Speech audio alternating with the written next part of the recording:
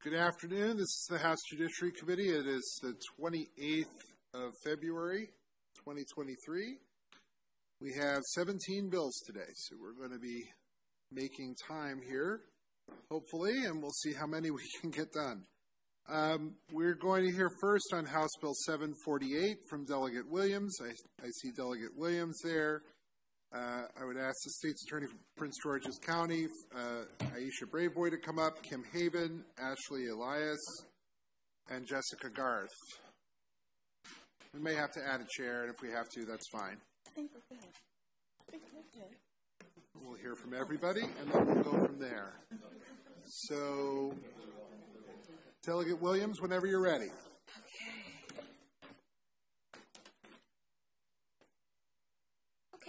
All right. Uh, good afternoon, uh, Chair Clippinger, Vice Chair Moon, whenever he comes back, and members of the House Judiciary Committee. I'm Delegate Nicole Williams of District 22, testifying in favor of House Bill 748, also known as the Law Enforcement Officers Prohibition on Sexual Activity Bill. Um, this bill alters the penalties related to sexual contact with a person who is under arrest, in detention, or otherwise in the actual custody of law enforcement under certain circumstances.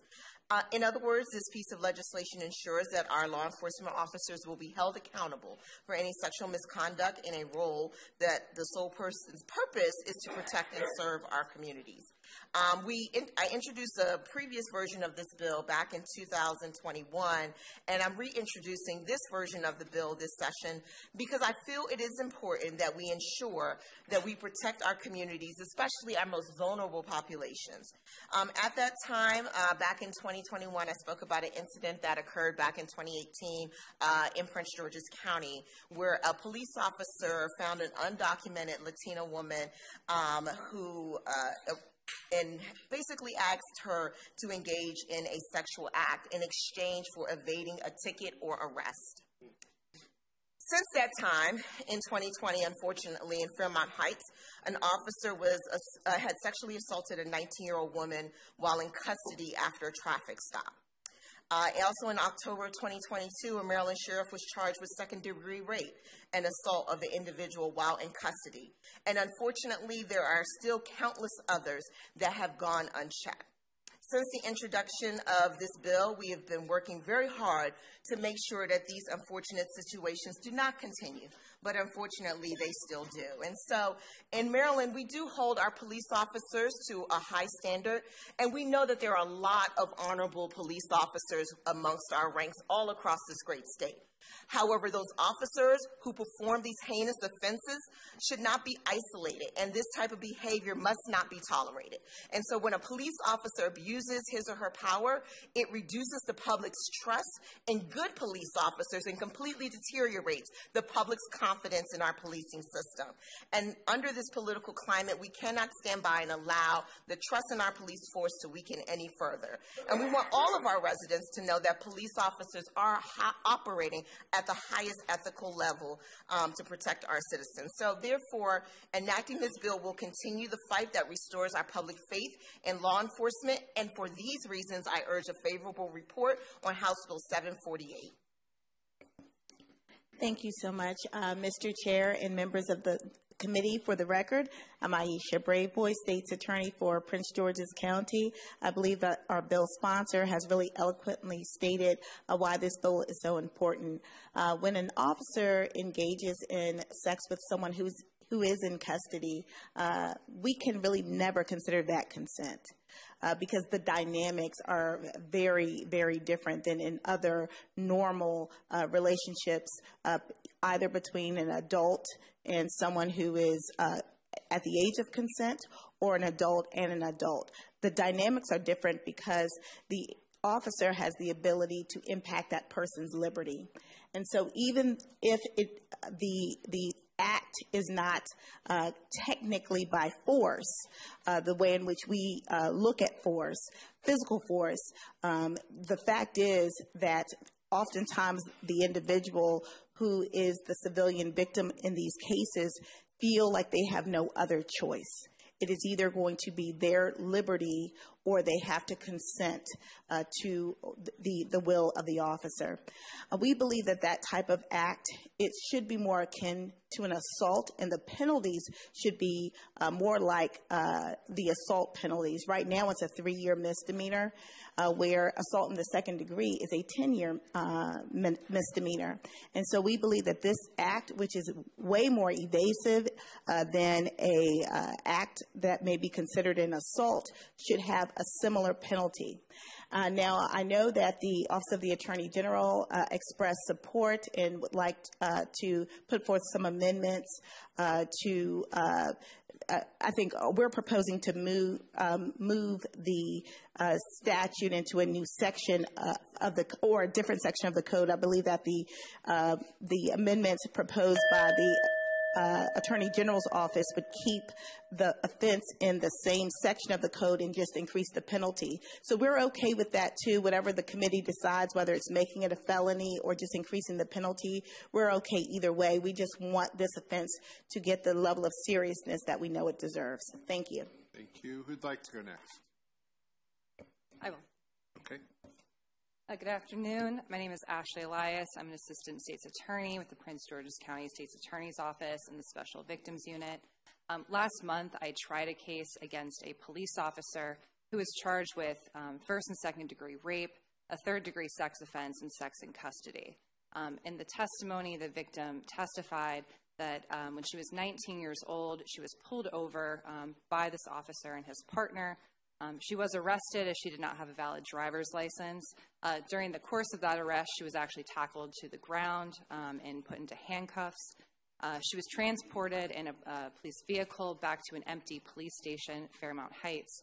And while at the police station, the defendant, the officer, um, said that she could either have sex with him or she could go to jail. Uh, her understanding at the time was that if she also had sex with him, he would release her car back to her. The reason she was speeding in the first place is because her infant son um, was had a head injury, so she was speeding to get to her infant son. Um, the jury came back with a um, finding of guilty on the sex and custody count, uh, which carries a maximum sentence of three years, uh, which we believe is woefully inadequate for the offense that this defendant committed. Um, in her testimony, the victim said multiple times that all she was thinking about was death and that she was afraid that she was going to die while she was in this empty police station with just um, the officer who assaulted her and another officer. I think her testimony highlighted the psychological effects of being in custody and also the power dynamic between someone who is in custody and a police officer. Um, we do believe the current sentence of three years, the maximum sentence, is inadequate and that change in the law will correct this inadequacy. Um, in addition, it will um, bring justice to victims of these offenses. Why don't we go to Kim Haven first, and then we'll have you switch with someone else, so that's fine. Good afternoon, Mr. Chair, Mr. Vice Chair, when he comes into the room to his seat, and members of the committee. My name is Kimberly Haven. I'm here today on behalf of Forward Justice Maryland and Reproductive Justice Inside. If I had more than a minute and 49 seconds, I would tell you the story about Tracy, who was involved in a year long affair with a correctional officer, and upon her release, because he blackmailed her, continued to remain in a sexual relationship with him for another two years. I would tell you about Katrina, who was hit on almost daily by a correctional officer. I would tell you about my own experience as someone who, while I was incarcerated, had to beat off unwanted sexual offenses from a correctional administrator. This is not about consent. There is no consent when you're incarcerated or when you are detained. This is about power. It is about power, it's, a, it's misuse, and it's abuse. No one's going to believe somebody who is detained that this has happened. And so it goes unreported. I would also tell you about Katrina. Katrina was accused by another incarcerated individual of having a sexual relationship with a member of the administration. It turned out that that was not true. But what happened to her was she was locked away at Patuxent while they investigated it for six months. She lost four months of her good time, even though it was found to be baseless.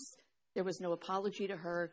She was a victim, and she was prosecuted for it. She was punished for it. And all that ever happens to an officer is that they get reassigned. That's not enough. People who are in our care, custody, and control cannot give consent. This is about power, it is about abuse. And this legislation will finally right and give voice to the stories that we know happen. This is about power. And for that, I urge a favorable report on House Bill 748.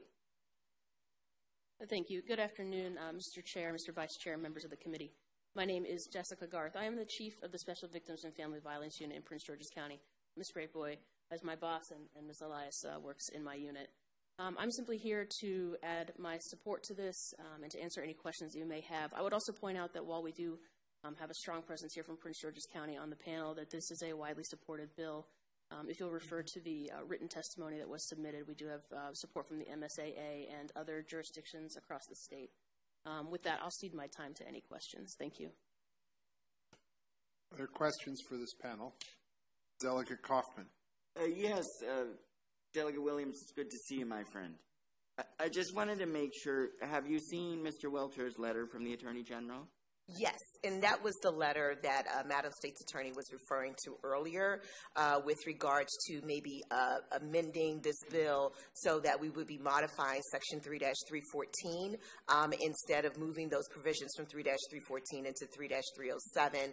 Uh, just talking with uh, the state's attorneys as well as other advocates, uh, we're amenable to the amendments proposed by the Office of the Attorney General, um, and so we may have some amendments forthcoming. No, I um, I'm aware with what former Delegate Braveboy said because uh, it's welcome back to the House of Delegates. We work together on special ed issues. Um, but uh, you sort of answered it. But my next question was going to be um, Do you view these amendments, Delegate, as friendly amendments? I do view them as friendly, yes. Thank you. Delegate Bartlett. Thank you, Mr. Chair. Just a quick question. Thank you for bringing this again. Um, so, would a someone who violated um, the law that's proposed here, would they go on um, the um, sexual offender registry? Under the, under the proposed section, yes. The, the, the, the section that is proposed in the current bill, yes. Um, if we accept the amendments from the Attorney General's office, um, I believe the answer would be no. Is that correct? It's so the so yes in the current version of the bill, but if the Attorney General's office's uh, amendments are accepted, then, then that person would not go on the sex offender registry. Thank you.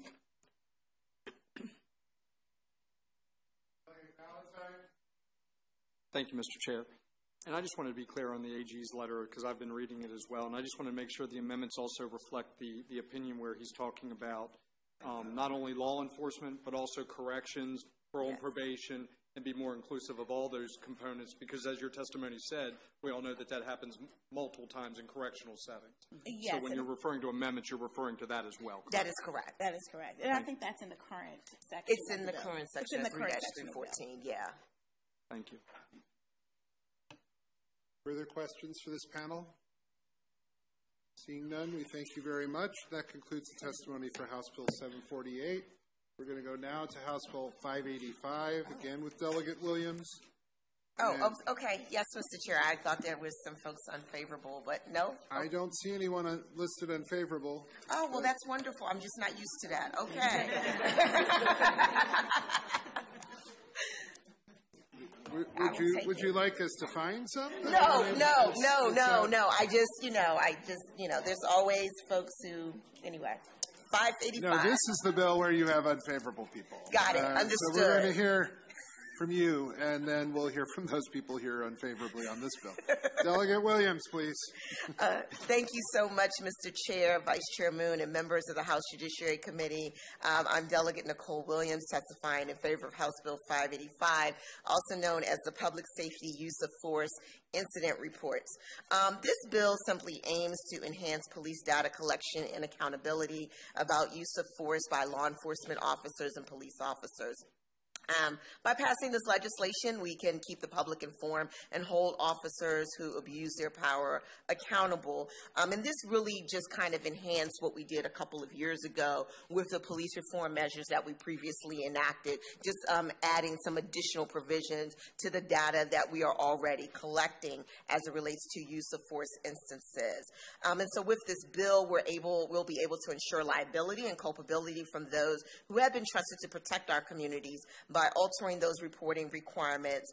Um, this bill will allow time for law enforcement agencies to establish the necessary infrastructure to publish on their public website and accumulate data pertaining to the use of force by police officers as required by this bill with an enactment proposed enactment date of January 1st, 2024. Um, as I mentioned, you know, we have been debating uh, session after session, year after year, about police reform. And even as we become more and more accustomed to hearing about lethal police encounters with unarmed individuals, they unfortunately remain um, common occurrences as we have seen on the news. And so, even by the end of January, seven people in the United States had already been fatally shot by police officers while unarmed. Enacting this bill will help protect Marylanders against those kind of tragedies by establishing more transparency and the use of force data that we are collecting and making on officers accountable to the public. Um, and so, for those reasons, I urge this committee to give a favorable report to House Bill 585. Questions? Seeing none, thank you very much. We'll now hear from two people in opposition to the bill. Michael Shire and Michael Davey, please, for two minutes each when they get to the table.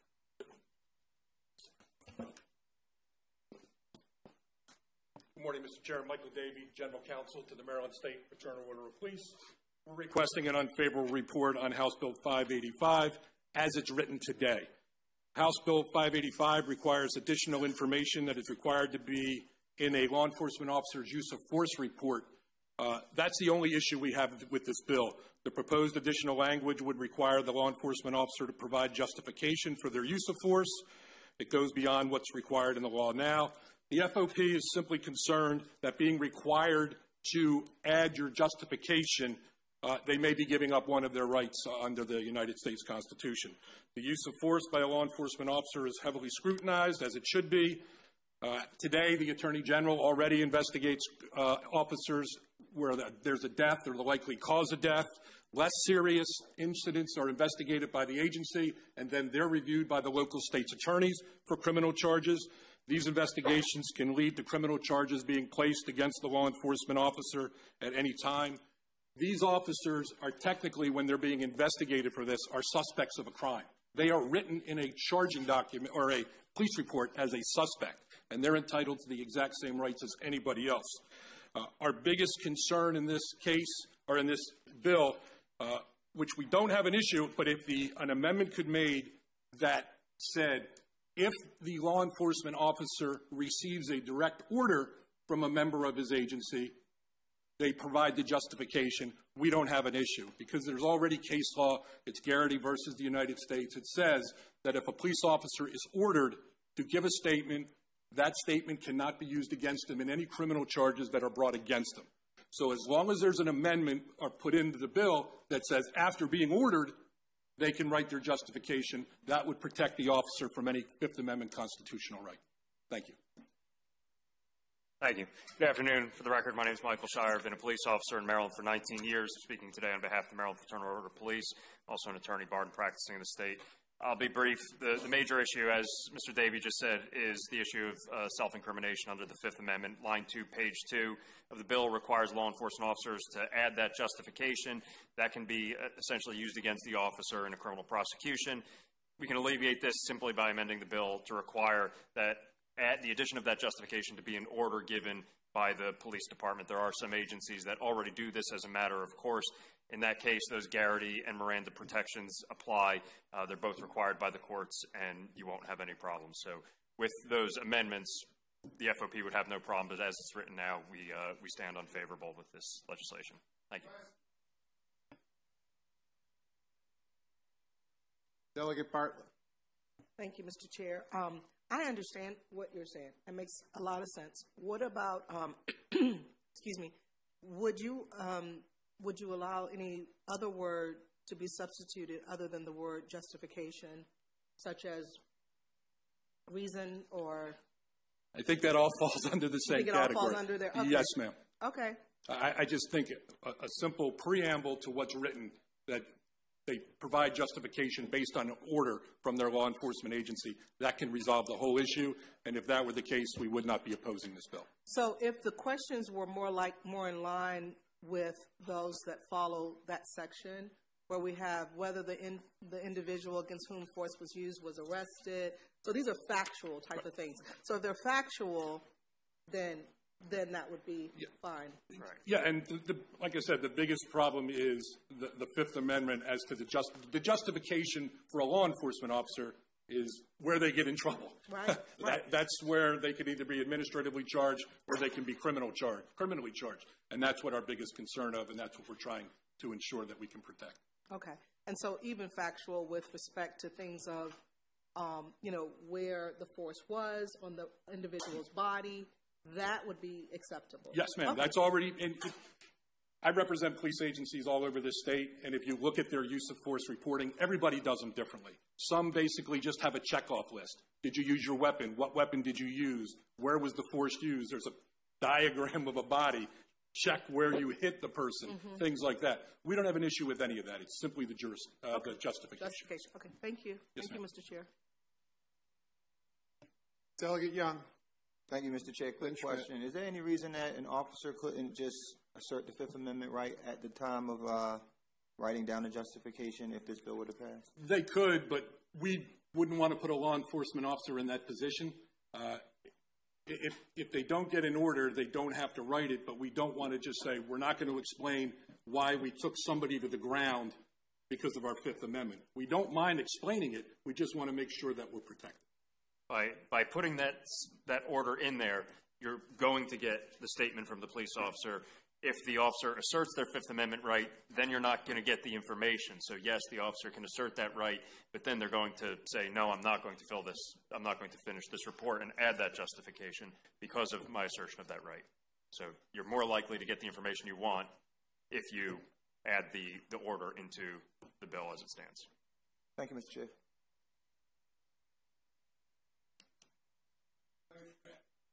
Uh, Thank you, Chair. Have you had a chance to speak to the sponsors, that sponsor the bill about We- some We have not. I'm not sure Okay. whether our lobbyists have. I got you. Okay. All right. That's all. Thank you. All right. Seeing no further, wait, there we are. Delegate Conaway.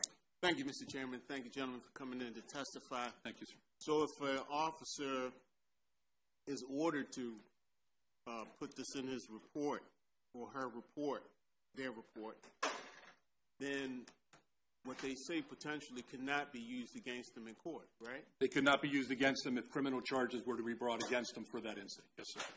Okay, thank you very much. And keep in mind, that's a constitutional protection that everybody has. Just Make sure we got, It. okay, thank you. Seeing no further questions, that concludes the testimony on House Bill 585. Thank you. Thank you. Now I have House Bill 940. I have Delegate Amprey and Sarah uh, Wendell from the Office of the Public Defender, and no one else signed up. No one else signed up? I believe from my conversations with the delegate prior that there was someone else supposed to be signed up here. If you have witnesses, let's bring them up. But there's no one else signed up on this bill. Can you tell me who you have? Yes, I'm Mr. Kevin Liles and Erik Nielson. I apologize, Mr. Chair. I thought we had that squared away. Uh, My apologies. That's all right. Uh, we'll go with this panel, and then if there's someone for the Office of the Public Defender, they can come in after you. So Delegate Amprey, go ahead.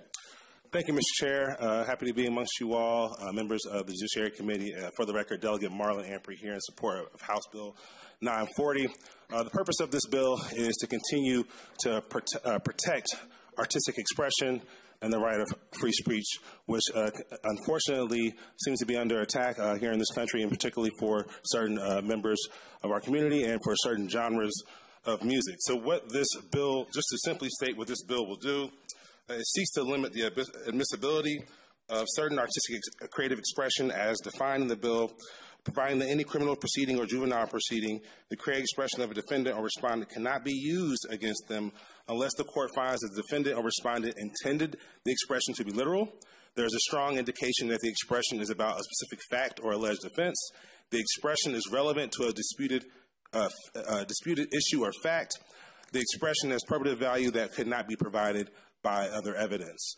Uh, so what this bill does is it ensures that someone who wants to use lyrics to entertain, to inform, can, those lyrics cannot be used against them uh, in the court of law or the, any form of artistic expression in the court of law unless these four measures are met. So it essentially puts in guardrails. What this bill does not do is it doesn't absolve certain lyrics that could possibly could be used. So I like to use a, a really, really quick example. If someone were to put a song together and say, I like taking lollipops from the corner stores. And they have several songs that go on about that and they, you know, lollipops are missing. That alone couldn't be evidence to say this is the person that did it. But once they have more evidence that, sh- that shows that, hey, we have uh, additional evidence that meets these four uh, parameters, then the, the, those lyrics could be used, uh, could be possibly be used. And the reason that this is important for me uh, is, is, that we have to ensure that artists have the ability to ex- express their full self. Uh, we have instances across this nation that my, my panelists will, will discuss in more detail where actual lyrics are being spliced, changed in order to be presented in the, in the court of law in order to allow for them to be used to, uh, to use as admissible evidence. So again, our goal here is just to ensure that artistic expression can be used in a way that can, they can that it won't be infringed upon when someone is expressing themselves and telling their full story. Uh, again, I ask for a favorable report on House Bill 940, and I'll ask that if I have any additional time, can be used for the rest of the panel. Thank you. Yeah, great. Good afternoon, Chairman Clippinger, Vice Chairman Moon, and other members of the Judiciary Committee. My name is Kevin Liles. And I'm here today to ask for your support on House Bill 940 introduced by Delegate Marlon Amprey. I'm the former president and CEO of Def Jam Music Group, and I'm currently the chairman and CEO of 300 Elektra Entertainment, a collection of music labels owned by the Warner Music Group. I'm also a board member of the Recording Industry Association of America, as well as the Gibson Brands, a group of companies inspired by iconic guitar maker um, Perhaps more importantly, I'm born and raised not far from here in West Baltimore. I'm a proud graduate of Baltimore Public Schools, and I attended Morgan State University.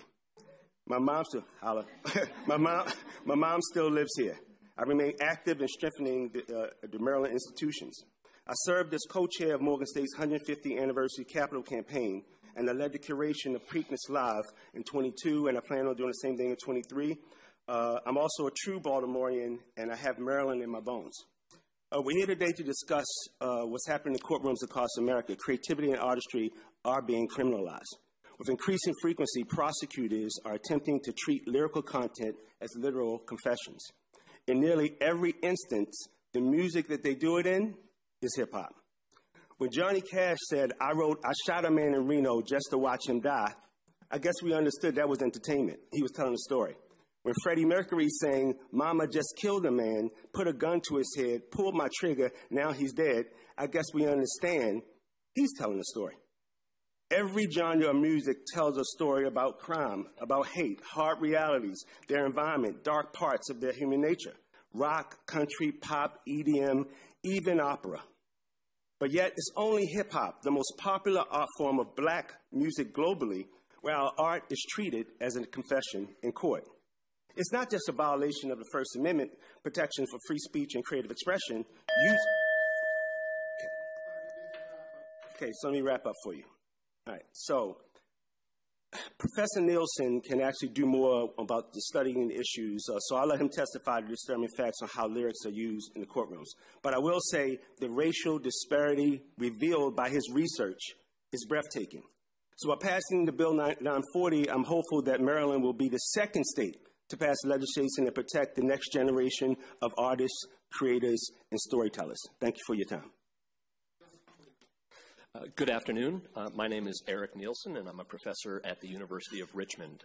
Um, I'm here to express my strong support for House Bill 940. If signed into law, this bill would provide long overdue protections for creative expression, particularly rap music, which has been targeted and punished by the criminal justice system for decades. I would like to acknowledge Delegate Amprey in particular for sponsoring this bill. And this reform is urgently needed. In courtrooms in Maryland and across the country, prosecutors are increasingly introducing rap lyrics as evidence in criminal proceedings.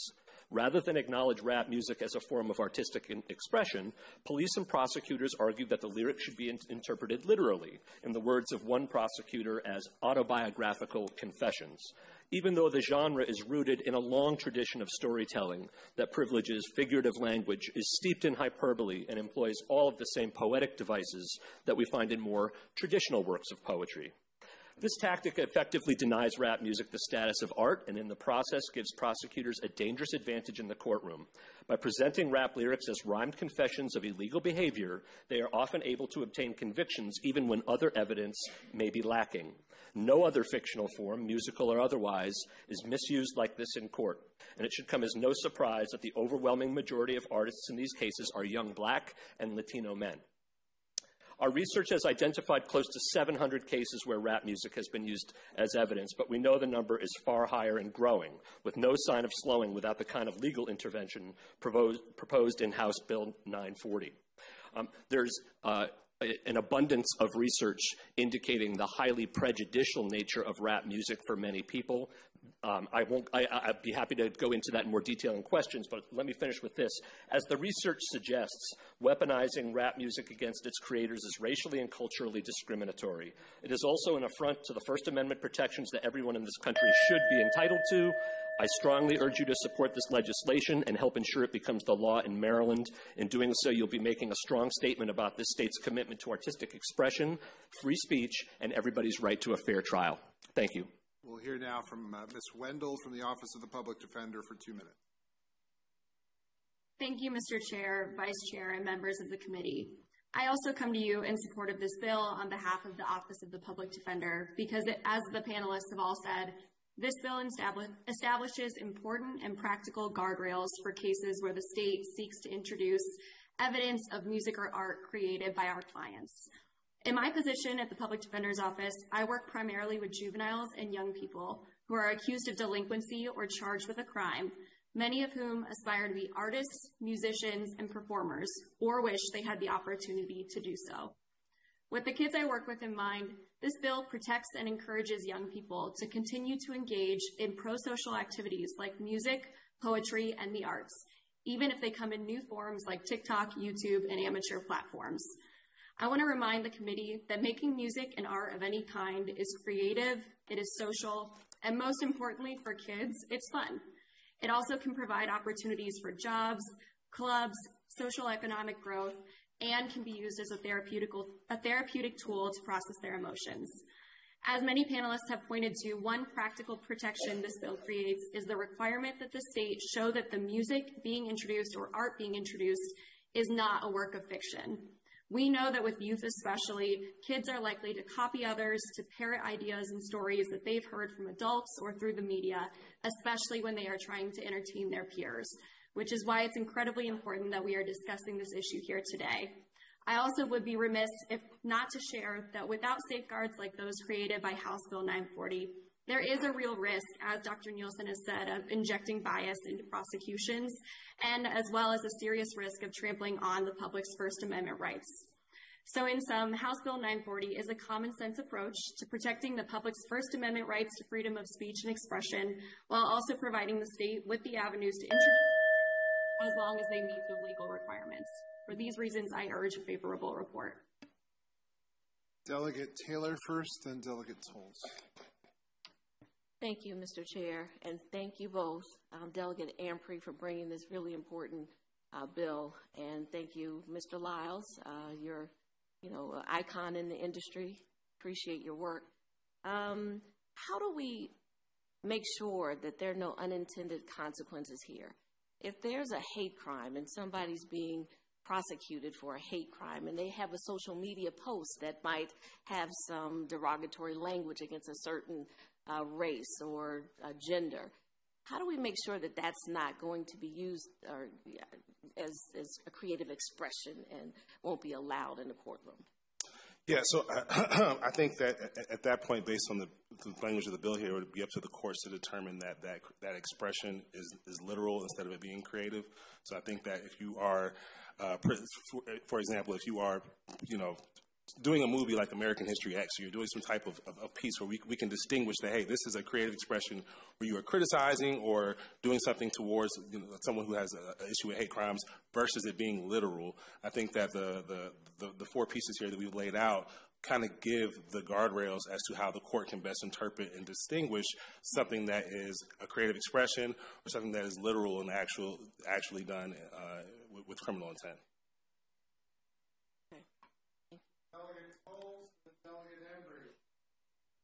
Thank you so much, Mr. Chair. Um, so I have a, a, couple questions, if that's okay. Um, so, uh, Delegate Amprey, my friend, thank you for bringing this piece of legislation. Um, personally, entertainment law and actually sports law is one of my favorite subjects in law school. So I think it's critically important in protecting the arts. Um, and of course, hip hop. I grew up on hip hop, so that's always a plus. So I have a couple questions. One for Mr. Nielson.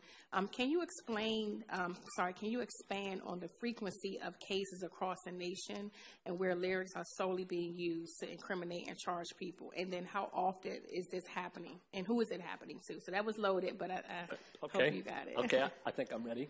Um, well, you know, our research has, as I mentioned, uncovered roughly slightly under 700 examples of rap mm-hmm. lyrics being used um, as evidence in criminal cases or proceedings.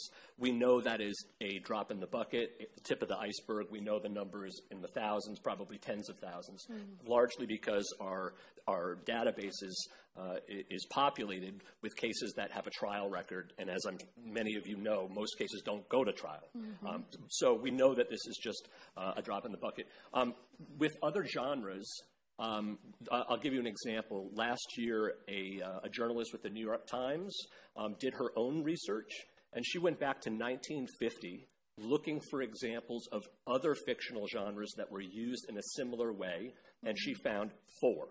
And in those four, all four of those were either uh, dismissed or overturned. So four over 75 ish years compared to 700 probably thousands. Mm-hmm. Um, I think that sort of explains. And, and, and there is a clear um, racial component to this. Mm-hmm. Um, I, I, can ex- I can give you some examples of the research, but um, overwhelmingly in our database, what we find is that the, um, the, the, the defendants in these cases are young, black, and Latino men. Very, very few exceptions to that. Okay, great. Thank you for that. Um, and if it's okay, um, I have a question, Mr. Chair, for Mr. Liles. Uh, you know, the, the, former CEO of Def Jam, uh, my type of music when I was growing up. Uh, so, um, or re- rather, that record label. So, can you explain um, or, or, further expand how this practice or using lyrics affecting how the practice of using lyrics or affect, are affecting our artists and the overall industry? Um, I could take it back um, because I've been dealing with this issue. But um, when I see a, a 28 people, um, six sign artists, locked up for a RICO charge because they grew up poor, mm-hmm. because they grew up in the neighborhood. When I see a father of six can't be a father because of lyrics. When I see a son of a dying mother, when I see a crew of people that can't bury their friend that just died, when I see a whole community that saw light uh, in an artist that said, I can be an entrepreneur. Um, there's a kid named Lil Baby that um, would not have wrote the song The Bigger Picture, with, which is our version of Marvin Gaye's What's Going On. But he was encouraged to do that by the person that's sitting uh, behind based off of lyrics. Mm-hmm. Um, I can go early days uh, when I first started from Two Live Crew to um, what I went through with um, LL, what I went through with Jay Z. I've, been through so many issues where lyrics have been used um, against us. What we have to realize that when you grow up poor, when you grow up in a, a, a neighborhood that there's the drug corner, the liquor store, the church, and your mama. You're going to rap about, the, uh, be a product of your environment. What hip hop has done for these kids is made an opportunity for them to become products of their experiences. And being product of their experiences, I'm a living example. At 16, coming from Baltimore, I'm supposed to be dead in jail or on drugs. I have a street named after me where I grew up. I built a stadium uh, where I grew up. I give kids hundreds of opportunities. There's no other business that will give a young kid, 16, 17 year old, an opportunity to start a micro business. He starts a micro business, he becomes successful, and he says, We leave no man behind. So I need to sign you. I need to sign you, and you're going to change your life. We created more African American people of color multimillionaires than any other form of business because we believe and we come from a place that we did not have. And we grew up with a rusted spoon in the mouth. And now I'm on a mission as part of my legacy to not allow lyrics to be admitted as, uh, for criminalization that you did something. Um, oh, because they call you King Slime, you're the leader of a gang. Crime is up, murder's up, but we locked up. And we can't do the very thing that we're doing, changing the communities that have been oppressed. Hopefully that answered your question. That was perfect. I want to thank you for all you do and thank you for giving our children a way out. And so I just want to say, not only have you made millionaires, but you made some good old music too. So, you know, we got a two for there. So again, thank you. Um, it's good to see you again. And Delegate Amprey, thank you uh, for bringing this bill forward. All right. Thank you, Mr. Chair.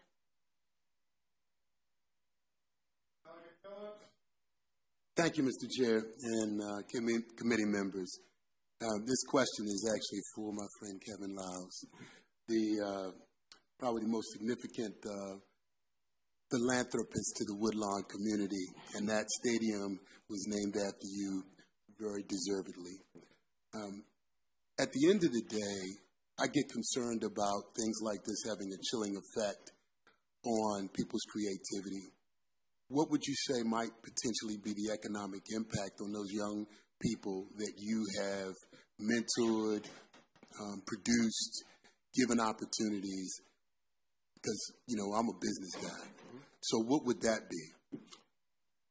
You know, I, I struggle to put numbers around somebody's life. I struggle to say, well, there's $30 million that were lost because of lyrics. And that $30 million would put nieces and nephews through private school that didn't have the opportunity to go to that $30 million was used to pay moms and dads rents because they lost their job during COVID. That $30 million was paid to have kids to have the opportunity to actually play sports in the league. Because one thing that we, we are, we grew up to be givers because we always had, the community had to take care of each other. So the financial impact is one thing. But let's talk about the mental impact when a father can't be a father to a crying daughter. When this is the new form of, of redlining to me because it says, you know what, you're the most popular music.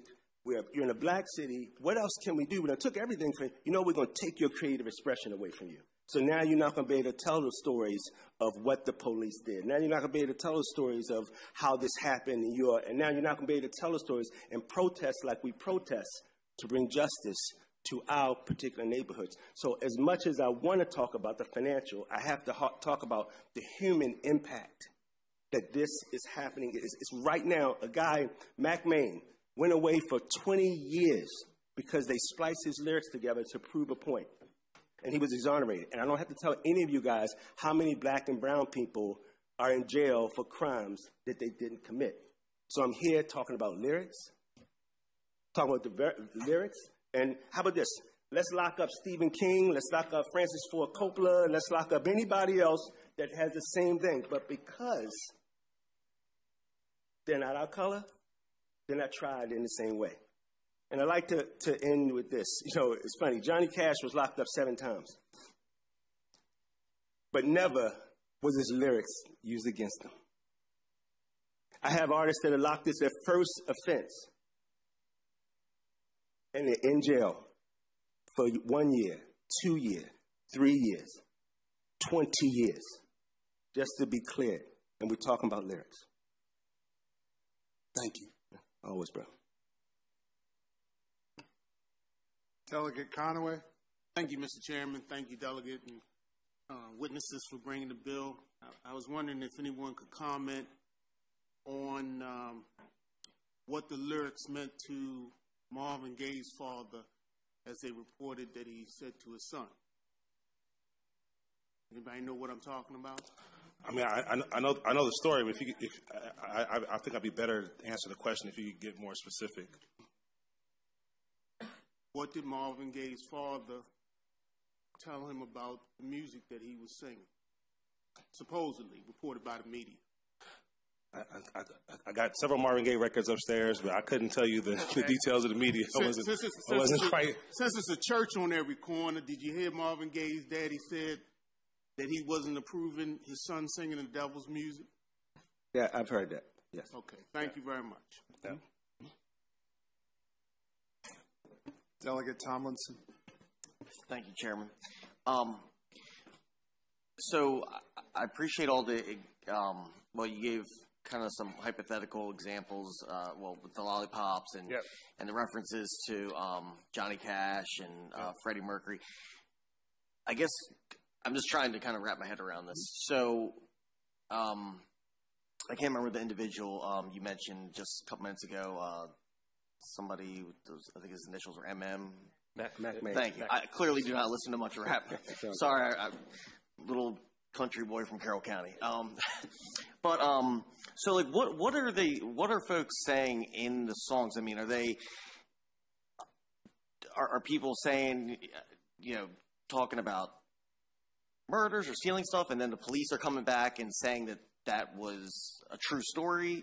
I'm just trying to. I guess if you want to totally describe the case take this in. Yeah, I can. I, I- I can start with that case and then sort of expand if, if Okay. that works. Um, so in in his case, um, he was an uh, uh, an artist on Master P's No Limit label. Um, he was up and coming, considered probably their finest lyricist. Um, no criminal record came from a family of artists. If you've met the guy, he's the gentlest human being on the face of the earth. Um, one night he was giving a show, um, and there was a fight uh, on the floor, broke out. Uh, somebody was shot and killed, and uh, the police went after Mac for it. Um, even though there was no physical evidence connecting him to it, witnesses saw somebody else who did it, and then somebody else went in and confessed to the crime. Um, he was still charged. And one of the things, what prosecutors did in his case, is they actually took um, a, a song, Murder, Murder, Kill, Kill, which he actually wrote. The, the, the cadence was based on the military. His dad was a, a Vietnam vet. And he said it was Murder, Murder, Kill, Kill. So they took the lyrics from that song, and then they took lyrics from another song, put them together, changed the lyrics around to make it sound even more confessional or autobiographical, and then presented, read that in front of a jury. Now, that, that, that specific example is egregious, um, but we see it all the time where prosecutors will argue one of two or three things. If you wrote the lyrics before the alleged crime, they'll argue that those lyrics were evidence of maybe motive or intent or knowledge with respect to that crime. If you wrote them after the fact, it's a confession. What's so concerning is that what we all know, if you are familiar with the genre, stock lyrical references are treated as specific confessions to crime. So you have a, somebody who got shot, prosecutor finds your rap lyrics, and you rap about shooting. I mean, how many rap songs rap about shoot are there about shooting? They will argue that one and one equals two. That was a confession. Um, it, it is it is very very rare that you're seeing cases where specific details that somehow skew from the genre overall are being introduced. It's really that if someone got shot and we find lyrics in your car um, that mention shooting, even though that's a very common you know trope or theme, that will be introduced as evidence. And what we know to the Johnny Cash example is that it's highly inflammatory. So we know there's. Re- I'll give you one fast one if you don't mind. Um, there's research, uh, a study conducted in 1999, but actually reproduced in 2016 with the same conclusions. Um, the, the researcher took some violent uh, stock lyrics from a folk song, just typed them out on a piece of paper, um, and handed those lyrics to two groups. On the top of one, it said country song. Same exact lyrics for the other group, rap song. And then she measured their responses. And what she found is that the group that believed that these were rap lyrics found them far more threatening and in need of regulation than the exact same lyrics characterized as country. There's additional research that shows that this can have real impact in a jury context, and there's developing research um, as well that this is, you know, continuing to unfortunately perpetuate what we see throughout the criminal justice system, which is the targeting of young men of color. So, sorry, Chair, can I ask one more question? Thanks. Um, so, so is it an either or situation here where is it a, is it a thing where uh, a murder happens and so and so is a suspect, and then they find out that oh, he also happens to write lyrics or rap or whatever, and then they use it against him, or is it the other way around? Okay. No, no, it's both. It's- so it's it, both. it depends. It- no, you name it. It's um. So there, there are definitely examples where, okay, get, there's one from Newport News, Virginia. It was a cold case. Uh, it was a murder. Had you know, five years old. No, they hadn't found anybody. Um, all of a sudden, um, the police in the gang unit unearthed a rap video um, that they thought was somehow confessional, even though the details to the song were were way off. Um, and so that motivated their prosecution of this particular person five years later. That's one example. More common is that you have a suspect and then you're looking for whatever, and I put, use air quotes, evidence you can find um, to make a, a conviction stick. And that's very common. So then you'll go back, you'll go through that person's hard drive, cell phone, whatever. And if you see rap lyrics or you see them up on YouTube or in SoundCloud, you will then bring that in, even though you're not supposed to bring in things that are character evidence. Um, uh, the prosecutors will argue that it is evidence of motive intent or that it's straight up confessional. So it, it, it runs the gamut. All right. Uh, interesting. Thank you. I appreciate it. Further questions for the panel? Delegate Schmidt. I- I do appreciate the testimony. I'm, I'm, and thank you, Chair. I'm really struggling with this one. I, I really am. I mean, I grew up, I grew up in the city suburbs, listening to '90s rap music, the explicit lyric days, right? The, the label that we put on these these albums. But I'm struggling with when a artist uses murder, murder, kill, kill, or or steal. Or I mean, I'm I'm really struggling with this. I mean, because it's perpetuating others to commit those types of acts. I mean, I'm, I'm, I'm really struggling with this a little bit. I mean, and if we're giving somebody a free pass to, I- get what you're saying about using it against them, but a free pass to, to say these things, it, how does that affect a, a, a neighborhood or a genre? Or, I mean, I, I'm struggling with that. Well, I, I'll I'll first say I, I don't think it's a free pass. It's a constitutional right to have free speech. Sure. Second thing I would say in regards to the neighborhood, I would ask us to examine the neighborhoods before we start blaming hip hop. Let's let's let's consider the other elements that contribute to what poverty, uh, uh, the original form of redlining, you know, underinvested schools. And I think the other thing is, you know, as as I think my panel has eloquently said, you know, a lot of times these artists are giving you a depiction of the reality that they face. I mean, I can say wholeheartedly that, you know, hip hop really changed my life. You know, I spent my summers in West Baltimore. I didn't get a chance to travel, but hip hop allowed me to hear from people in Compton, Brooklyn, New Orleans, Houston. I mean, even I learned how the wards worked in Houston because of hip hop, right? I didn't know how th- things worked there. But ultimately, what hip hop has done is it allows us to hear the struggle and, and the fight that people are dealing with. A lot of artists are just expressing the realities that they face every day. So I don't think that it's necessarily encouraging uh, lyrics. I think it's more so the expression of, of what's going on and what's happening. I think sometimes when we hear these lyrics, it can also, inspire us to do some things that can change the conditions that people are living in. But I think ultimately, um, again, the spirit of this bill is to ensure that um, the lyrics being used by individuals as they're describing the situations that they live in or just describing things they see, that it's not indicting them uh, for, for, for, for their freedom of expression. So uh, I hope that answers your question to a certain degree. It, it does. I, pr- I appreciate the elaboration. It really does help. Could I address it briefly? Sure. It's up to the chair. Did you want to? Now, I just want to say uh, I am 90s hip hop. You're looking at 90s hip hop. But the same way um, NWA said F the police, I I'm love glad you that. brought that up because that's something. I, I, I, I love that's been that on as much as uh, as Ice Cube grew up and he said today was a good day. Yeah. You you can't you you, you can't um, when you say you grew up on it, you listen to it. Uh, we have people who lived it, and when you're in that life, yeah, today might have been a good day, but yesterday when you you were on the ground with your hands behind your back saying you got a gun in the car, with a gun to your head, and they said, oh, wrong person, wrong car. So those realities happen, and it's not just music. This is this is really true life. And to to tell you about somebody saying uh, murder, murder, murder, kill, kill, kill. How many of us have been murdered, murdered, murdered, and killed, killed, killed because of the color of our skin? So it's not. This is this. Maybe it's a disconnect in. Um, I don't think it's the music. It's in the realities of our country that black and brown people are targeted.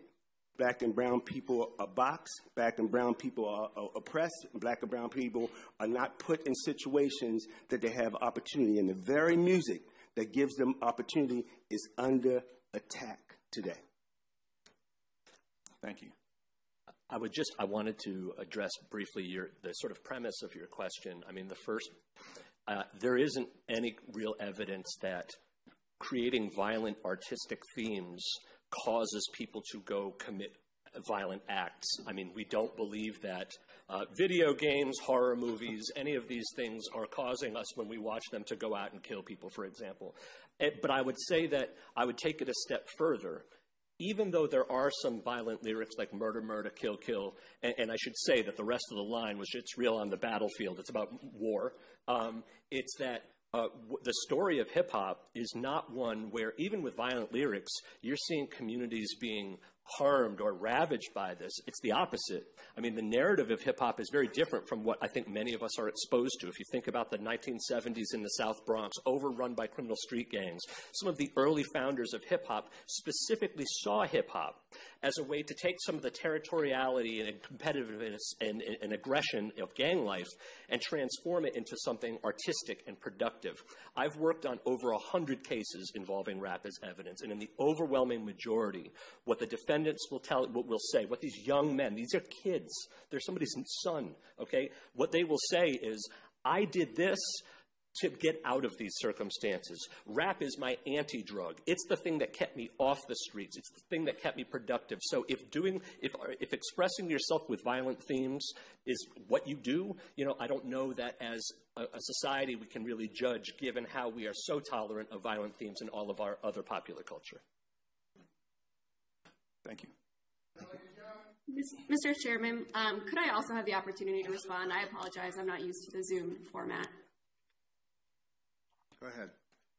Uh, just briefly, um, I also wanted to respond and just point out that um, what I think that this bill does well is it's focusing in on the rules of evidence and in these situations where we have a First Amendment right to freedom of speech, freedom of expression, we really do have to be careful where the right, our rights bump up against each other to make clear rules where courts have to make clear findings. And in any case, in any trial, the evidence that has to be put on must be relevant. And in this case, when we're looking at freedom of speech, freedom of expression, art, and music, this bill does well to create clear findings that courts would have to go through where not only are we looking at if the statements, the lyrics are relevant, we're also looking at, you know, are we also protecting other constitutional rights for folks who might be on trial that day? Um, and so I think this rule, this proposal does well to really lay that out in a way that still allows lyrics to come in in situations where those requirements are met, but really just make sure that courts are making clear findings when this does come up. Mr. Chair, that was my question and answer. Ms. Wendell, would you say that the current law with regard to a statement that's made by a party opponent is not clear? Thank you, Mr. Chair. I, I wouldn't say that. I would say that this is a situation where we're looking at people's First Amendment rights. We're looking at music. We're looking at art. It's a bit different than a traditional party opponent statement that we typically see in courts in different proceedings, and especially where someone else's constitutional right, a different right is involved, we have to make sure that we're making clear findings and taking extra precautions to make sure that those every right is being upheld in that criminal setting. Are there other questions for the panel? Seeing none, thank you all very much. That con- oops, that concludes the testimony on House Bill 940. Thank you, Mr. Chair. I appreciate you obliging my witnesses. Thank you all. We're going to House Bill 959 now. Delegate Metzger.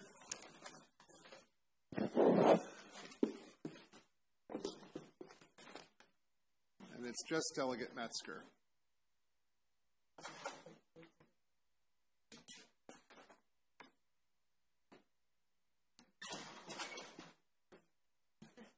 Go ahead for three minutes, please.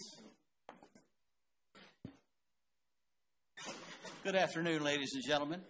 House Bill 959, Procedure Plea Agreement, Crime of Violence, today, February 28th.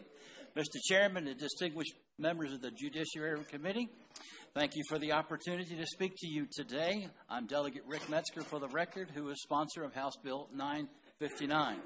I introduced this bill because of a constituent and a mother whose son's life was taken very soon. Miss Kim Rivers could not be with us today uh, to discuss what had happened to the, the son, that, the, the gentleman that took their son's life. But uh, two teenagers basically shot and killed her son over a dirt bike. And um, the father had looked out and seen the, for the back record, the father had looked out and seen the shed light on, and he called and said to the son, Go down and turn the shed, the light off in the shed. And went down there. He was assaulted and murdered um, tragically. Uh, the, uh, the assailant is scheduled for early parole um, this year. And um, the purpose of this bill is, again, as I mentioned, a 20 year sentence. Uh, we talk about crime that's been really in front of us for, for some time. And we talk about trying to do something about crime and the slowdown of violence. I truly believe that we need to begin the dialogue of a message. And the message is if you do the crime, as Ivan Bates said, bring your toothbrush, you're going to jail. And I truly believe that uh, I'm, you're looking at a man of faith and a man that believes in forgiveness and believes in first chance, second chance, third chance, fourth chance, fifth chance. But there is times that we need to say enough is enough. And um, this bill, I, I'm open to amendments. Uh, Mr. Chairman, you and I have talked about this since I introduced it back in 2019 that a, a person that had commits a crime, that the plea bargain arrangement, and if they go back out and do a crime again, I truly believe that they need to go back to the original crime, the sentence that was originally sentenced for that person, and do that.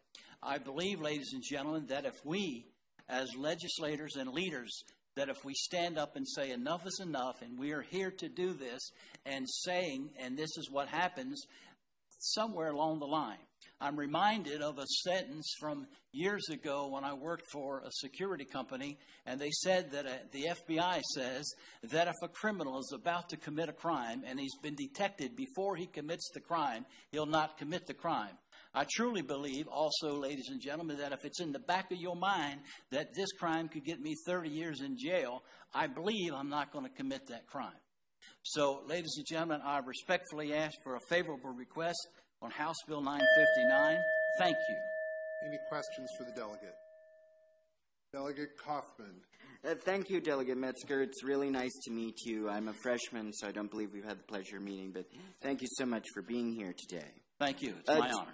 Uh, do you have and uh, you have a wonderful district mate in Delegate Grammer, but do you have any evidence, sir, that uh, do you have any evidence, sir, that knowing, hey, I'm going to, do you have data that suggests that um, knowing I'm going to get 20 or 30 years um, is a deterrent for criminals if it in fact is there data that suggests Johnny, who may, thinks maybe mur- murdering Molly but won't because he knows he's going to get 30 years. And secondly, plea deals, and uh, my wonderful chairman probably knows more about this than I do. In fact, I know he does. Um, but uh, plea deals are often used by state's attorney's office because of an extreme backlog of cases. So, um, have you thought, talked uh, talked about how? Have you thought about how you can mitigate uh, the increased workload that would result uh, from this for the Thank state's attorneys all across the state, Delegate? Thank you for that question. I was uh, approached earlier today, and the gentleman said, Well, Delegate, that bill means that the lawyers are actually going to have to do some casework. The answer to that is yes, that's true. Uh, I truly believe that the state's attorneys or the prosecutors who do these negotiations I believe sometimes it's because of the backlog, and yes, uh, I realize that this could take some time, but I believe if we implement it, I believe the backlog would slow down, and I believe we'd have less people in the prisons. Yes, uh, how about my first question, Delegate, about do you have any data that. I, that not in front of me, no, sir. Uh, could you? I'd be very interested be, if I'll, you could I'll, research it. Thank you. I will get you some research for that. Because I want to know if, in fact, it's a deterrent or uh, it, just something we would like to believe that it's a deterrent. Thanks. Thank you. Absolutely. Thank you, Mr. Chair. Thank you, Mr. Chair. Um, thank you, Delegate Metzgar. Oh, there you are. Thank you uh, for bringing this bill. Uh, violent crime is a very serious issue, and it's especially close to my heart. And just to Delegate Kaufman's uh, question, um, a few hours ago, I actually met with State's Attorney Ivan Bates, and he shared some fascinating research that has been done at the federal level over the past 20 years that showed um, increase in time given for violent crime is actually a deterrent after the five-year point. Yes. So once it's five years and up, um, you start to see the deterrent effect take take effect. And so I would be happy to share that with you, along with Delegate Kaufman. Isn't that so? Absolutely. Thank you. Thank you, Mr. Chair. And briefly, this is about the murder that happened to the Rivers family some years ago. Yes. Uh, I, uh, can you tell me, you know, I know Ms. Rivers couldn't be here today. Can you, I know you know them personally. Can you tell me how this impacted the family, the parents of uh, Mr. Rivers? Well, first of all, um, let me just say this. Can you imagine the father that looked out and saw a light on and told his son to go turn the light off in the, the garage? Can you imagine in almost 17 years what he's thought when he looks at that garage? If I'd only told my son not to turn the light out, if I wouldn't have said, turn the light out, my son might be here. Mrs. Rivers has struggled very difficult. She has fought all the way through to keep this gentleman, and I call him a gentleman because I believe in the, the, the rehabilitation. But she is struggling and she's having a very, very difficult time, especially know that he could possibly get out in a few days. Thank you. I appreciate that. Thank you, Mr. Chair, thank you, Delegate, for being here. Um, I just, first off, want to say I, I, do wonder and question the workload that this would put on the state's attorneys. Used to work in the state's attorney's office. Each and every prosecutor has piles and piles on their desk. You see one of these on Grammer's desk, it's like six of them.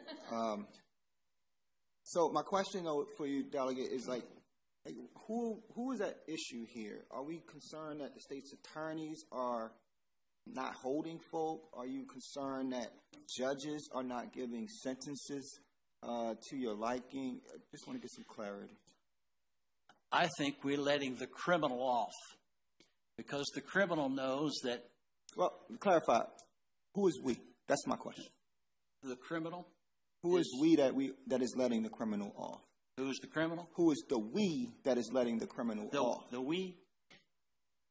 I would like to say us, but it can't be us unless we take the leadership in the role and say enough's enough.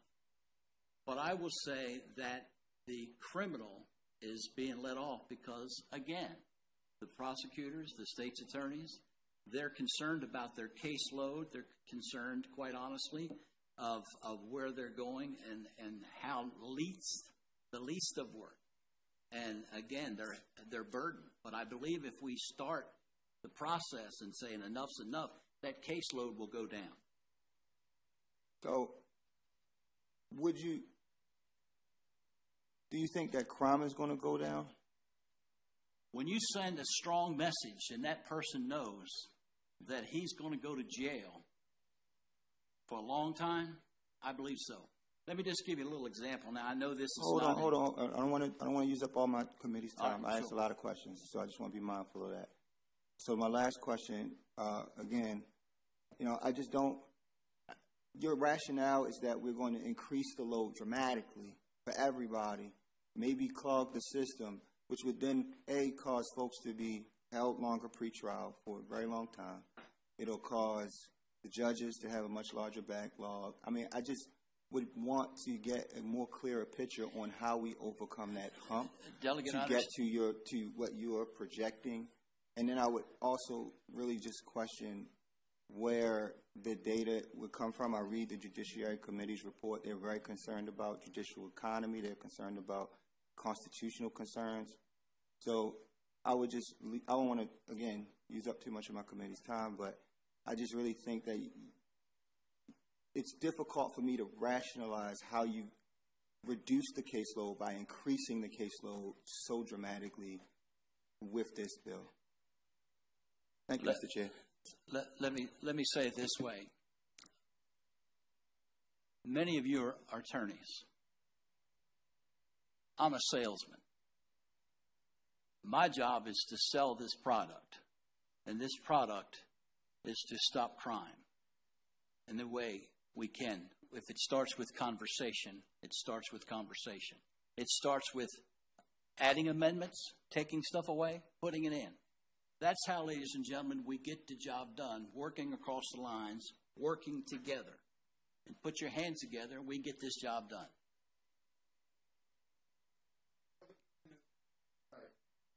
Thank you, Mr. Chair. Last question for this bill. Delegate Metzgar, um, I do appreciate the fact that regardless of the economic impacts and complaints about people's workloads, um, you're just here to curb violent crime and save lives in the state of Maryland. And I know you were cut off from answering uh, the previous question, so I was hoping you could go ahead and, and give us your full answer. Let me just say this again that we're here as leaders and legislators. We're the lawmakers. And I believe that for 445 years, there's been a law somewhere along the line that's come through. I learned a long time ago, delegates, not to fall in love with my bills. This bill started in 2019. So I've got time. I would love to work on this bill to make it go through to the third reader and to vote. But unless you feel it's not ready, I'm honest enough to tell you, let's work together. My office number is 841 3332. You can call me anytime. You can call me on my cell phone, 443 622 7647. I'm available to get the job done. Bottom line. Seeing no further questions, Delegate Conaway. Thank you, Mr. Chair. Thank you, Delegate, for coming in. Uh, I understand that you're a salesman, and you said your rationale for we slash us is that you're tired of abduction, arson, kidnapping, manslaughter, mayhem, maiming, murder, rape, robbery, carjacking, armed carjacking, sexual offenses, so forth and so on. Is that correct? It's happening all over. You're tired of this. Is that Yes. correct? Thank you very much, sir. Thank you.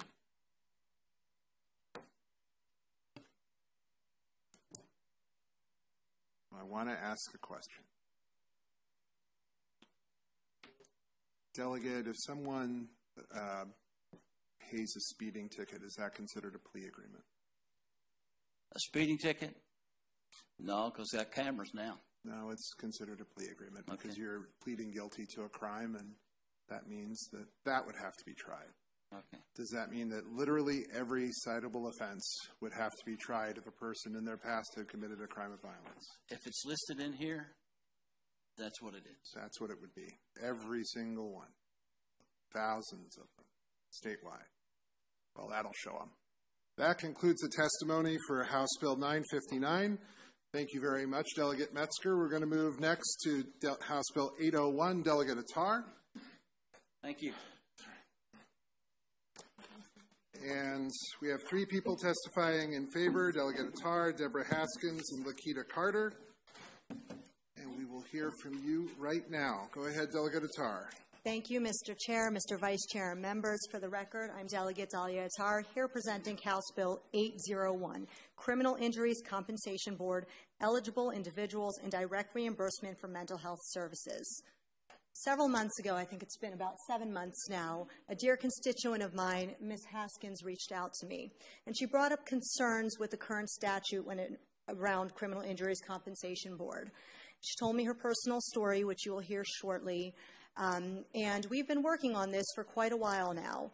This bill changes those eligible for awards from the Criminal Injuries Compensation Fund to include a parent, a child, a stepchild, a sibling, or an intimate partner of a victim who received psychiatric, psychological, or mental health counseling due to the injury to the victim. And those services must be provided without charge to the individual and rather be paid for by the Criminal Injuries Compensation Board. I can go on for a very long time about why mental health services are necessary for many people, uh, but specifically when it comes to those who are victims of crime, it is absolutely necessary. I will um, save some time so my panel can talk a little bit more about this, but I just want to point out that this bill also, like I mentioned at first, expands who is eligible, um, and you will hear why that is necessary as well, and I'm open for questions. Thank you, Mr. Chair. Thank you. Good afternoon, Delegate Clippinger and members of the Judiciary Committee. My name is Dr. Deborah G. Haskins. I am a lifelong resident of Baltimore City. Today I am here representing our son, Joseph Jojo, and our nephew, Reuben Haskins. They are not homicide numbers. They are loved. They have families. They had dreams. I re- represent all families affected by criminal injuries. I thought homicide happened to other people until it happened to us.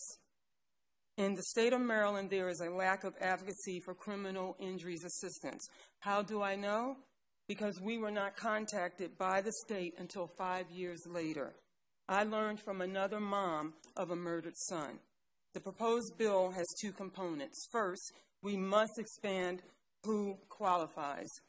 JoJo's fiance, his stepson, and JoJo's and Reuben's siblings did not qualify.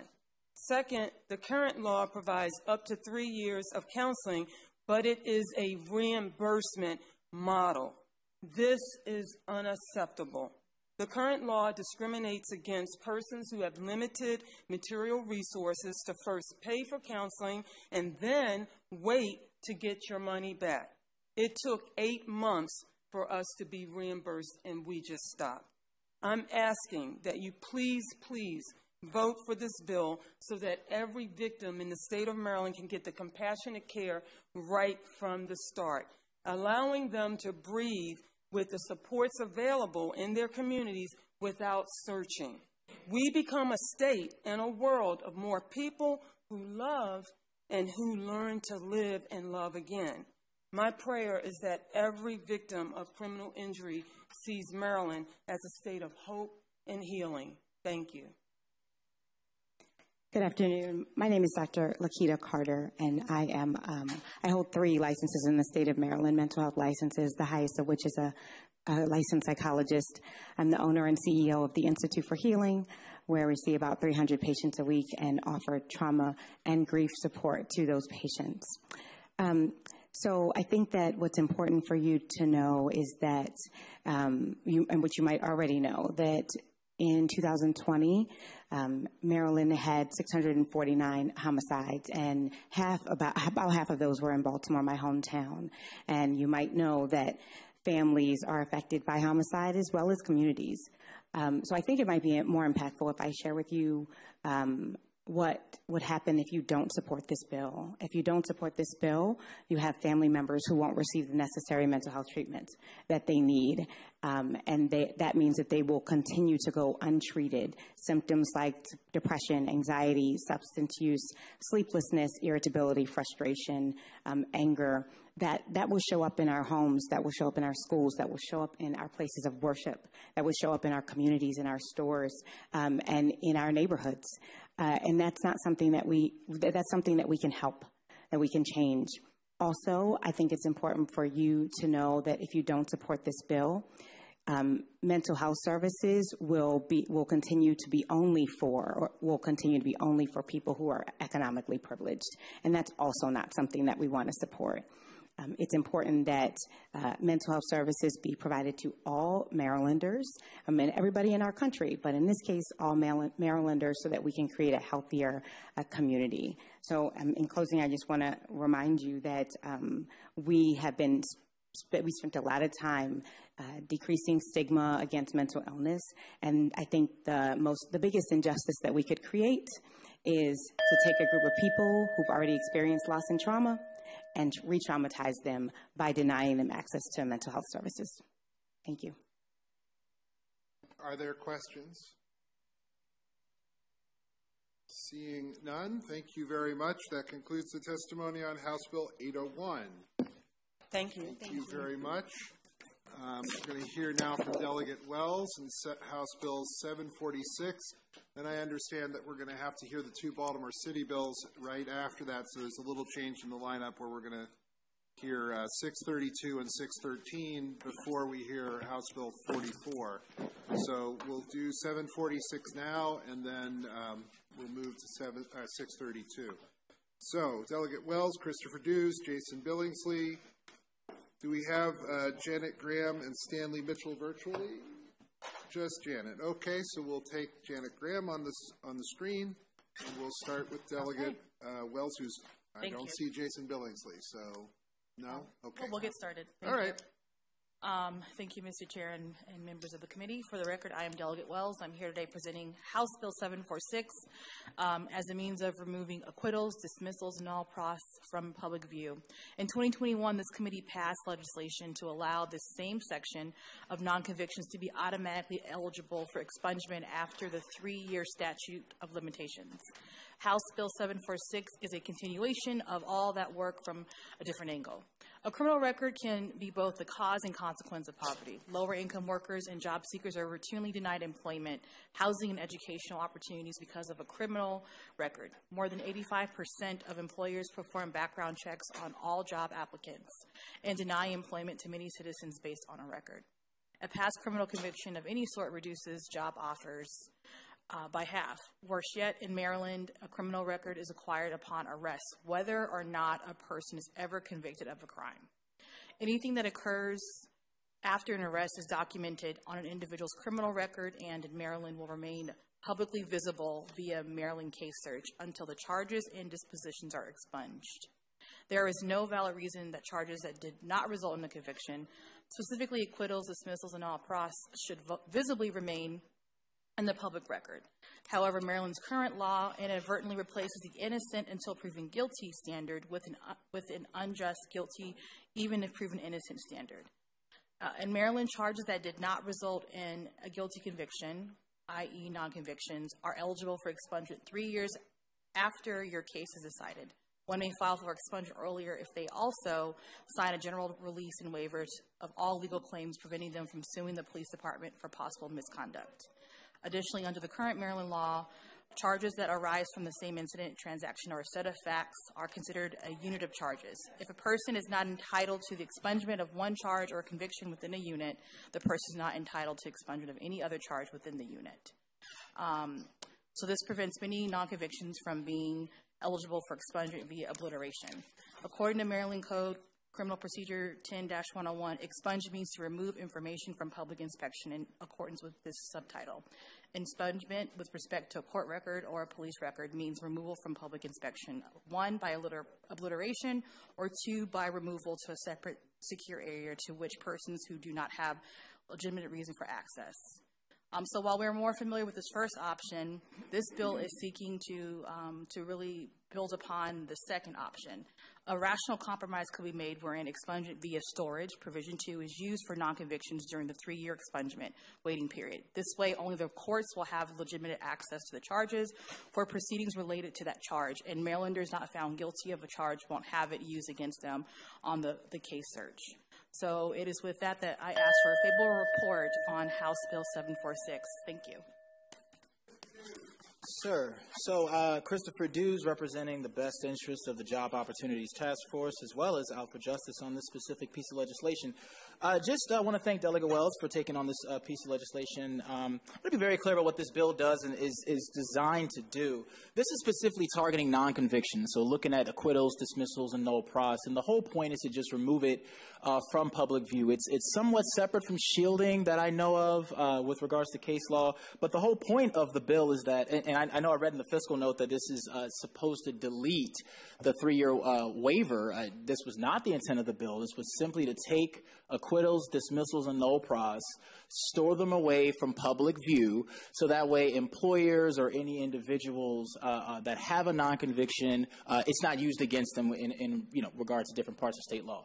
So that's the purpose of the bill. To be very clear, uh, during that three-year waiting period, it would be removed to a separate area and only allowed to be used for the purposes of proceedings related to the arrest or charge. Uh, this means something to me specifically because as an employer, when I was hiring individuals for a training program, myself, I used to run case search on all of my trainees, and unfortunately, I did not uh, fully understand what an acquittal, dismissal, and no pros was. So all these charges would pop up, and I would either you know move on to another individual or just assume that this person had a serious uh, problem or that there must be something wrong when an acquittal, dismissal, and no pros is technically a not guilty verdict. So I'm kind of you know, and I see employers do this all the time where they're kind of being you know made. Uh, uh treating people as if they're guilty when they were technically uh, not proven as such. So that is the intent of the bill. If you have any questions, uh, I would, I'm here for answers. Ms. Graham, please, for two minutes.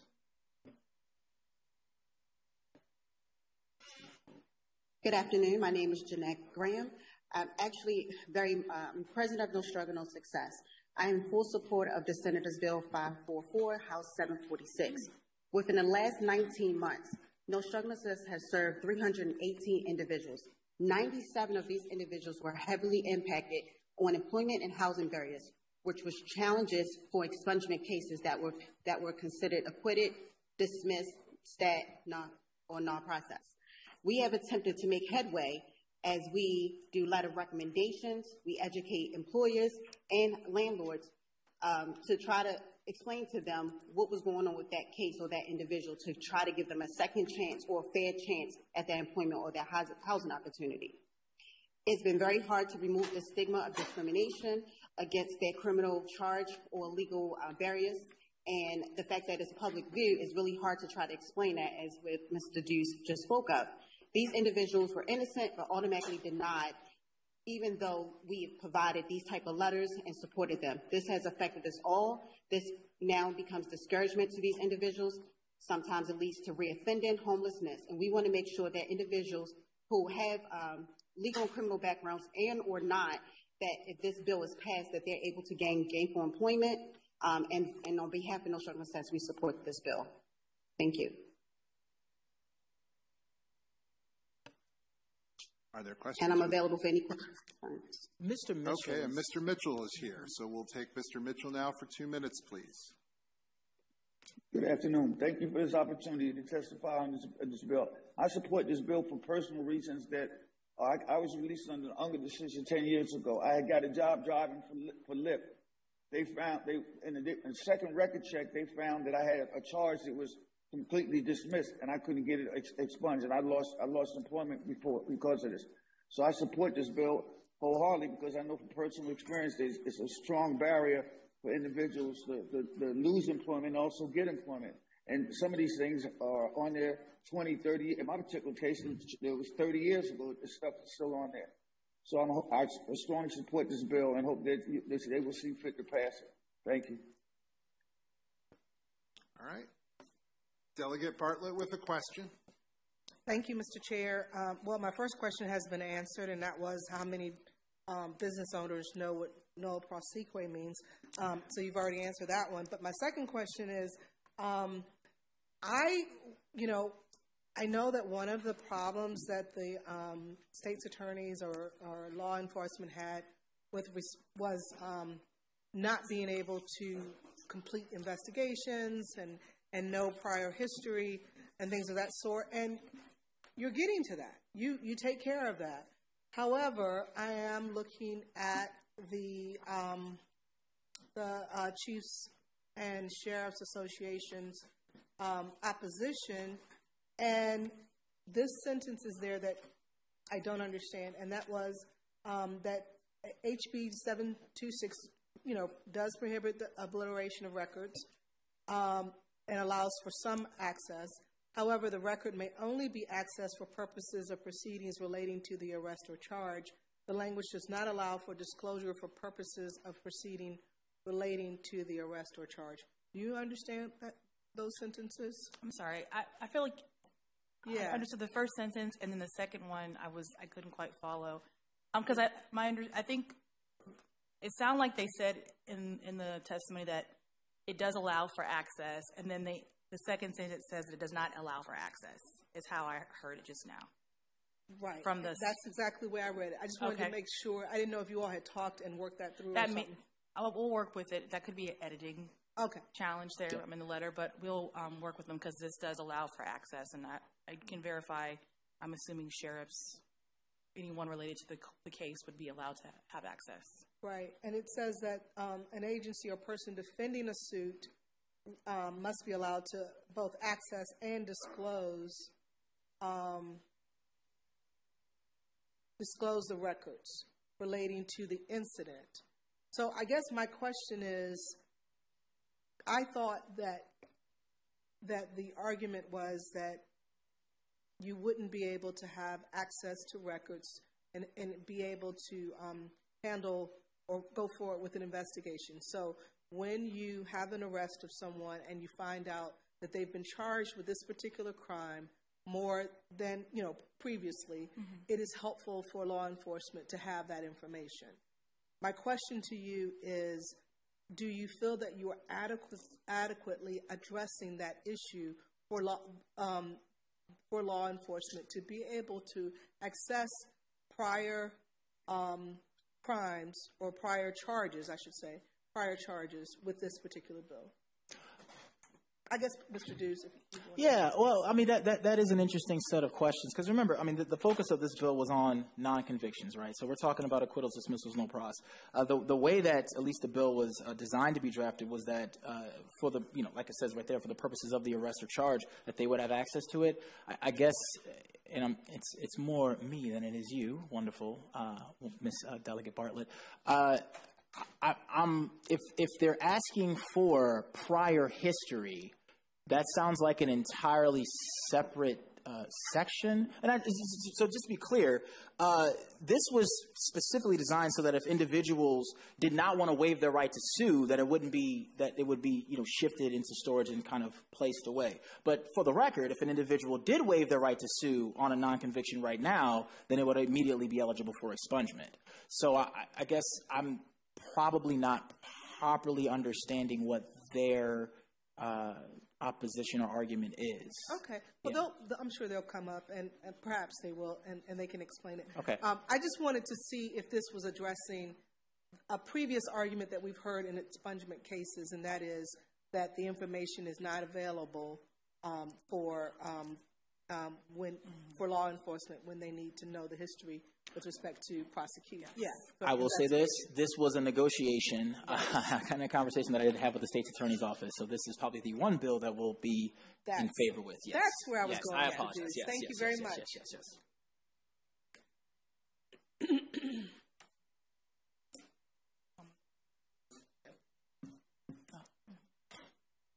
All right, we are now trying to juggle multiple things with regard to the bills here just for a moment. Um, we, before I go to Delegate Phillips, we are going to have to go to Delegate Cardin's bill next. This is House Bill 582.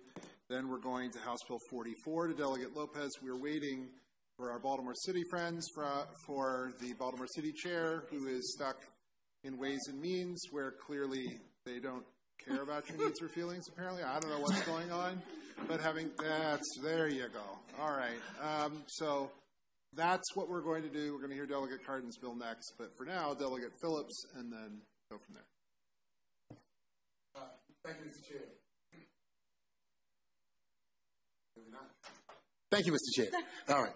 Um, this is ingenuous, uh, only because I know frequently what we've heard or what I've heard as a newbie is that in expungements you need to be able to see the records, and that's why we shouldn't expunge matters. However, I'm looking at the judiciary's response, and that's concerning to me because what I heard you say is that there is already a provision for taking this data and putting it in a separate file, right? But the judiciary is opposing the bill because they're saying it's unworkable, because in essence, I'm thinking they're saying they don't have this separate database. Can you help me understand what exists today and what would be required to make this work?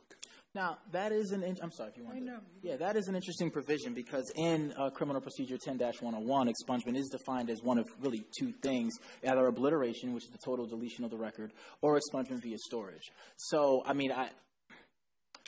There, similar to how shielding would work, I mean, from my understanding, is that it, it would then be shifted to the criminal justice information system, but away from public view. Because from what I was told uh, from members of the state's attorney's office, that there exists two different types. There's, there's, you know, the Maryland case search where everybody can see, and then there's supposed to be this private database. And for the record, I want to be very clear about this. The only reason why I am uh, uh, at least testifying in favor of the kind of uh, removal from public view for this specific bill is because it's a non-conviction, uh, and the individual has the right to just waive the right to sue and then have this expunged immediately. I just in my conversations with the state's attorney's office, uh, the, the conversations were to say that this one would be uh, something that they could uh, do and implement. That this wasn't necessarily. This was a provision of a previous bill last year that we are now bringing back this year that was supposed to necessar- not necessarily have any opposition. So more conversations probably should be had with the state's attorney's office, and we're willing to have those. If, if they are saying that they're in opposition because they don't have the capacity to do this, when in my conversations they said that this bill wouldn't. You know, Well, let me be clear. It wasn't the state's attorney's office. Okay, I'll the- apologize. No, Forgive no, me. no, no. It Yes, was it was the judiciary. Okay. Right. Yes. And so, at some point, I think we need to figure out with the judiciary where the disconnect is. You got it. If you could work on that. Yeah, there was a, um, a, I believe it was the chair of the Judiciary Committee last year who said no bill comes into his committee perfect, and I will take uh, some privilege with that and honor the statement that no bill comes into his committee perfect and work with Judiciary to make sure that we do hammer this one out. Thank you. Thank you. Delegate Tomlinson. Thank you, Chair. Um, I- I'm looking at the, uh, not the same document that, um, Delegate Phelps was talking about, but I'm looking at, uh, the Chief of Police and Sheriff's Association, and I don't, I don't believe they're coming up to talk about it, so, um, and it's not, not that it's your job to defend what they're saying, or why would you want to? But um, no, there's one paragraph that I'm I'm kind of confused about, and maybe you can help clarify or bring some light to what they're talking about. Um, do you have it in front of you there? Yeah, the bill, yeah. Oh, Okay. Uh, yes. The bill, I have the bill in front of me. Oh, Not- I'm sorry. not- okay, not- I yeah, I don't have access to that level of. Yeah. So, so they write that uh, this House bill does prohibit the obliteration of records before three years and allows for some level of access. However, the record may only be assessed or assess, accessible for purposes of proceedings related to the arrest or charge. The language does not allow for disclosures for purposes of proceedings related to the arrest or charge. The agency or person defending a suit must be allowed to both access and disclose the records relating to the incident. Yeah, so um, that was a similar question that was raised by Delegate Bartlett. Um, I think there could be a, I think there's a, a maybe a, we can clarify, but I think it's a typo because Okay. the language does acknowledge that there is, that it is access, made accessible. So I'm hoping that maybe they thought it wasn't accessible and they read the bill again. They're like, oh, it does allow for this. And they forgot to remove that sentence, is what I'm, but we have to clarify Okay. that with them. Yeah. You're confused. We're a little, we're all a little confused by this. Not gonna lie, So, yes. Sorry. Thank you for putting on the record that we're all confused. do, you, do, do you have any more? Okay. Uh, right, seeing no further questions, we thank you very much, and that Thank you. concludes the testimony for 746. Now we're going to Delegate Cardin out of order to House Bill 582. He has five witnesses. Um, they're all favorable. Um, we'll hear from Michael Shire, Michael Davey, Frank Boston, Ari Plout. Ari's not coming, I'm here. Okay. Cool. Delegate Cardin for three minutes, please. Thank you, Mr. Chair and members of the Judiciary Committee. For the record, Jon Cardin here on behalf of House Bill 582, asking for your favorable uh, report on it. Uh, This bill uh, simply is a clarification bill to try and make sure that we have predictability and understanding in how uh, police officers are um, investigated and how investigations um, may be terminated or ended. Um, I did provide staff with two amendments which seem to, uh, everybody seems to, there seems to be peace in the valley on both these amendments. Um, and the first one basically uh, clarifies that it should be a, the statute limitations for a termination of an investigation should be a year and a day from the time that the um, agency knew about the investigation. Mr. Davies, I'm sure, is going to clarify all that. Basically, this just creates a statute of limitations so that um, officers won't remain under investigation uh, indefinitely. But as as it was the intent of the original bill, is that there is um, investigations and they're done in a way that is both predictable and understandable by all parties. That's it. Thank you, sir. Uh, good afternoon. My name is Michael Davey. I'm General Counsel to the Maryland State Fraternal Order of Police, and we, we are requesting a favorable report on House Bill 582. Uh, as the delegate stated, this is basically cleanup language to the Police Accountability Act uh, that was created in 2021. Then House Bill 670, the idea was to require transparency, citizens' involvement, and efficiency in the manner in which these internal investigations are done. Uh, a major concern of both the General Assembly and the citizens were these investigations were taking too long. They weren't getting notified, and these cases just never ended. They continued to linger. Under Section 3113 of the Police Accountability Act, there is a statute of limitations for those cases or investigations that were or complaints made by the public. Section 3113C states that the process of review of the investigative unit through disposition by the Administrative Charging Committee shall be completed uh, within one year and one day after the filing of the complaint by the citizen. So that takes care of the statute of limitations for any complaint by the public that goes to the Administrative Charging Committee. But the law is silent as it pertains to those internal investigations that don't go to the Administrative Charging Committee, that are just held internally because they were not made by the public. There is no statute of limitations in the law right now, and we're asking for that statute of limitation be in. We've met with the Maryland Chiefs of Police and the Sheriff's Association. We came up with the amendments that the delegate talked about. One year and one date from the date the incident comes to the attention of the appropriate official from the police department, and we agree to an exception to that one year and one day, and those for officers who are being investigated for criminal activity, because we understand that that can take longer than a year and a day. Discipline is not, should not always be initiated to punish an officer. It's basically used to create, create or excuse me, correct uh, inappropriate behavior. Having an internal investigation linger two, three, four years doesn't do that. At that point, the officer is no longer motivated. We just want these cases to be done, be done in a timely manner so the complainants can find out the results. Thank you. Okay. Yes, sir. Mr. Chairman, members of the committee, I'm Frank Boston, and I'm here as the legislative attorney for the State Fraternal Order of Police. We thank uh, Delegate Cardin for putting this bill in. This is my first time testifying this year, believe it or not, before this committee. and I am happy to say that because I have two fine FOP lawyers, not fine like that, you know what I mean? I'll take, I'll take that compliment. But I have two.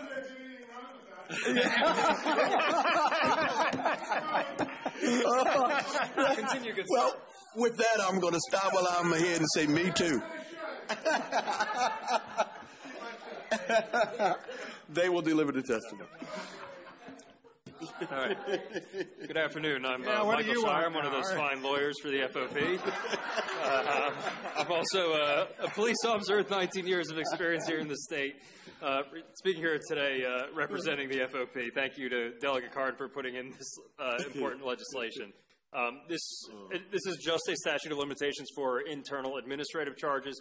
Uh, it's important to note that there is already one, as Mr. Davies said, for complaints that are involving members of the public. So, what falls into these types of complaints that are not involving members of the public? You're talking about things that could be very simple, like a police officer not shining their shoes, being late for duty, or maybe backing a police car into a pole behind the station. As it currently stands, a police officer could be, say, late for work, as we said, and then 20 years later, their supervisor, who noted the officer's tardiness, is now in a position of greater power, and they want to administratively charge the officer. Without a statute of limitations, as this proposes, these minor offenses hang over the officer's head indefinitely. That's obviously terrible for morale and poses a huge opportunity for, uh, for abuse by the, the agencies. Um, as Mr. Davey also says, we want these things disposed of in a timely manner. It's to everybody's benefit to do so. Statute of limitations do have important due process implications. They are common in our legal system. Requiring them ensures that accused parties can adequately prepare their defense, gather evidence against them, ensure that all that is preserved and available. Uh, as I mentioned, it prevents abuses which could be used to improperly influence the behavior of an accused officer under threat of such an untimely prosecution. Uh, we do have no issue with the amendments that have been proposed, making the, the start time trigger the point where the violation came to the agency's attention. That's certainly more than enough time to conduct the investigation and place the charges, and we're also okay with the statute of limitations not applying to criminal charges, as Mr. Davies said. We, uh, we fine lawyers thank you for your time and ask that you report favorably on HB 582. Thank you. Mr. Chair, the uh, chiefs and sheriffs did put in testimony, I believe, saying they would be favorable with those two amendments that we did put in. Um, and I'll be happy to go talk to the state police as well at this point. Questions for the panel? Oh, and the state police has already indicated that they'll be okay with the amendments as proposed. Okay. Just FYI. We're going to go to Delegate Williams, then Delegate Park. Um, thank you, Delegate Cardin, for bringing this bill and the amendments, I think, which address, like you said in your testimony, the concerns raised by the police and sheriffs and the um, Maryland State Police and others. Um, I know with the amendments you had mentioned uh, the exception of the one year, one day as it related to criminal charges. And I was just hoping either you or someone else on your panel, if you could elaborate on the necessity for that exception. Why is that a necessity for us to have an exception for criminal charges as opposed to other matters? Sure, I, I can answer that. Thank you. Um, the, these cases just take longer because it's basically two investigations occurring.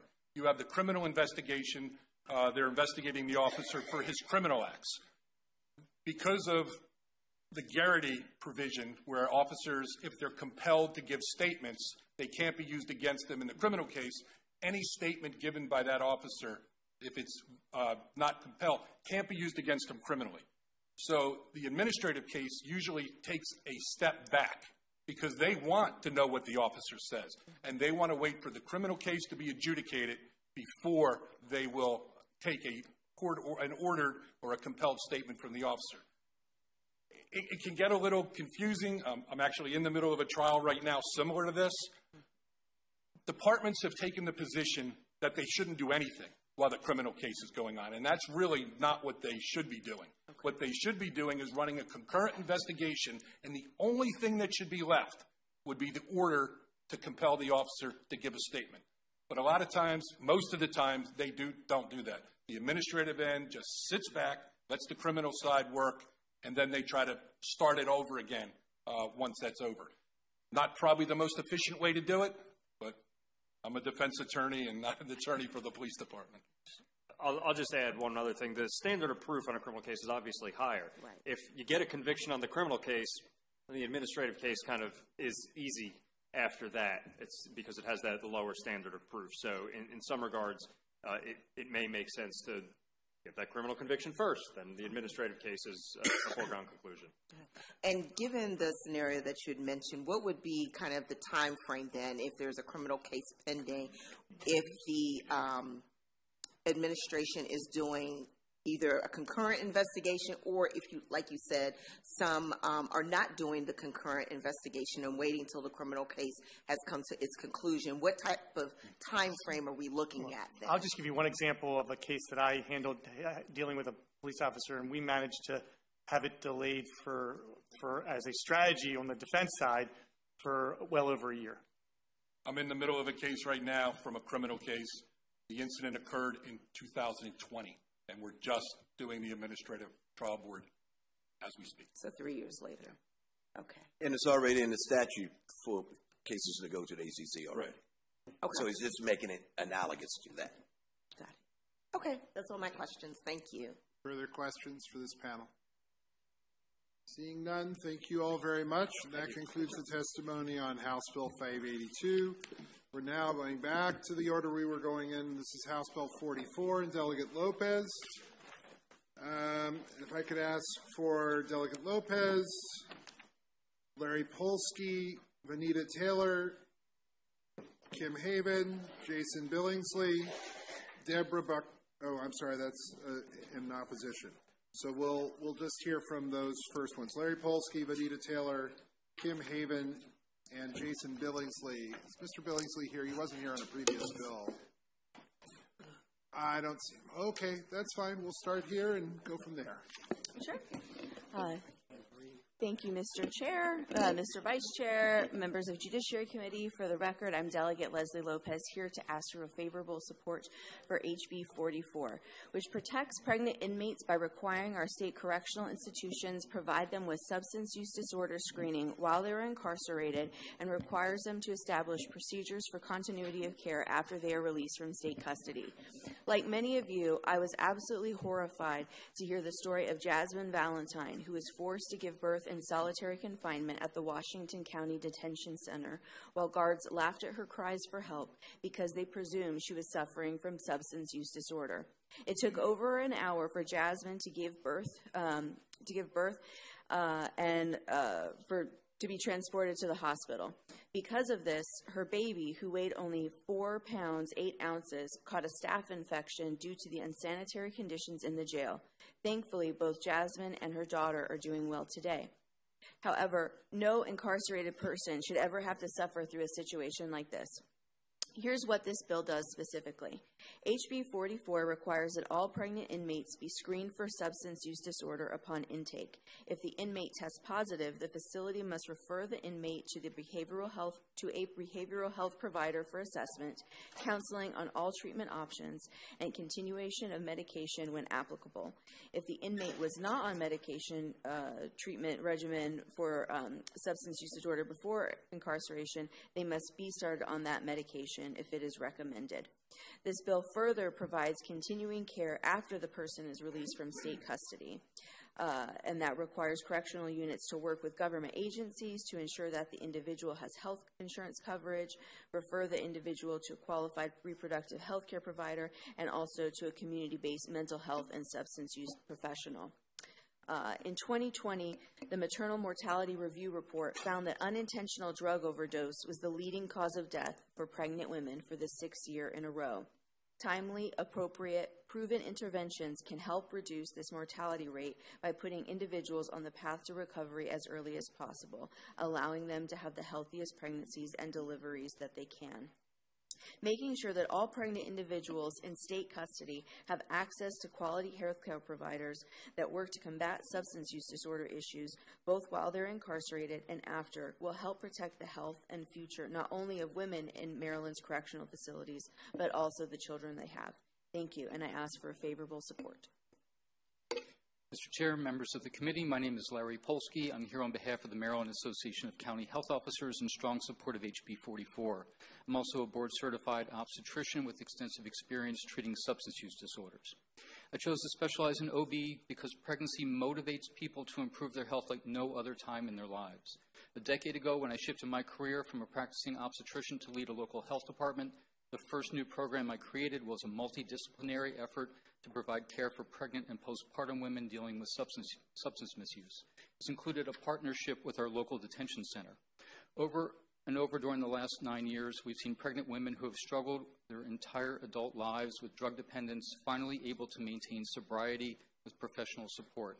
Postpartum, most of these women have continued with treatment, proven to be good parents, and with ongoing support have gone on to find employment or complete their education.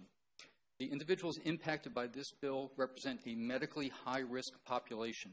When given the opportunity for proper treatment, we can see dramatic results. HB 44 will ensure that any pregnant woman with drug dependence who enters a correctional facility will have the opportunity to initiate timely and appropriate care in keeping with the recommendations of the American College of Obstetricians and Gynecologists.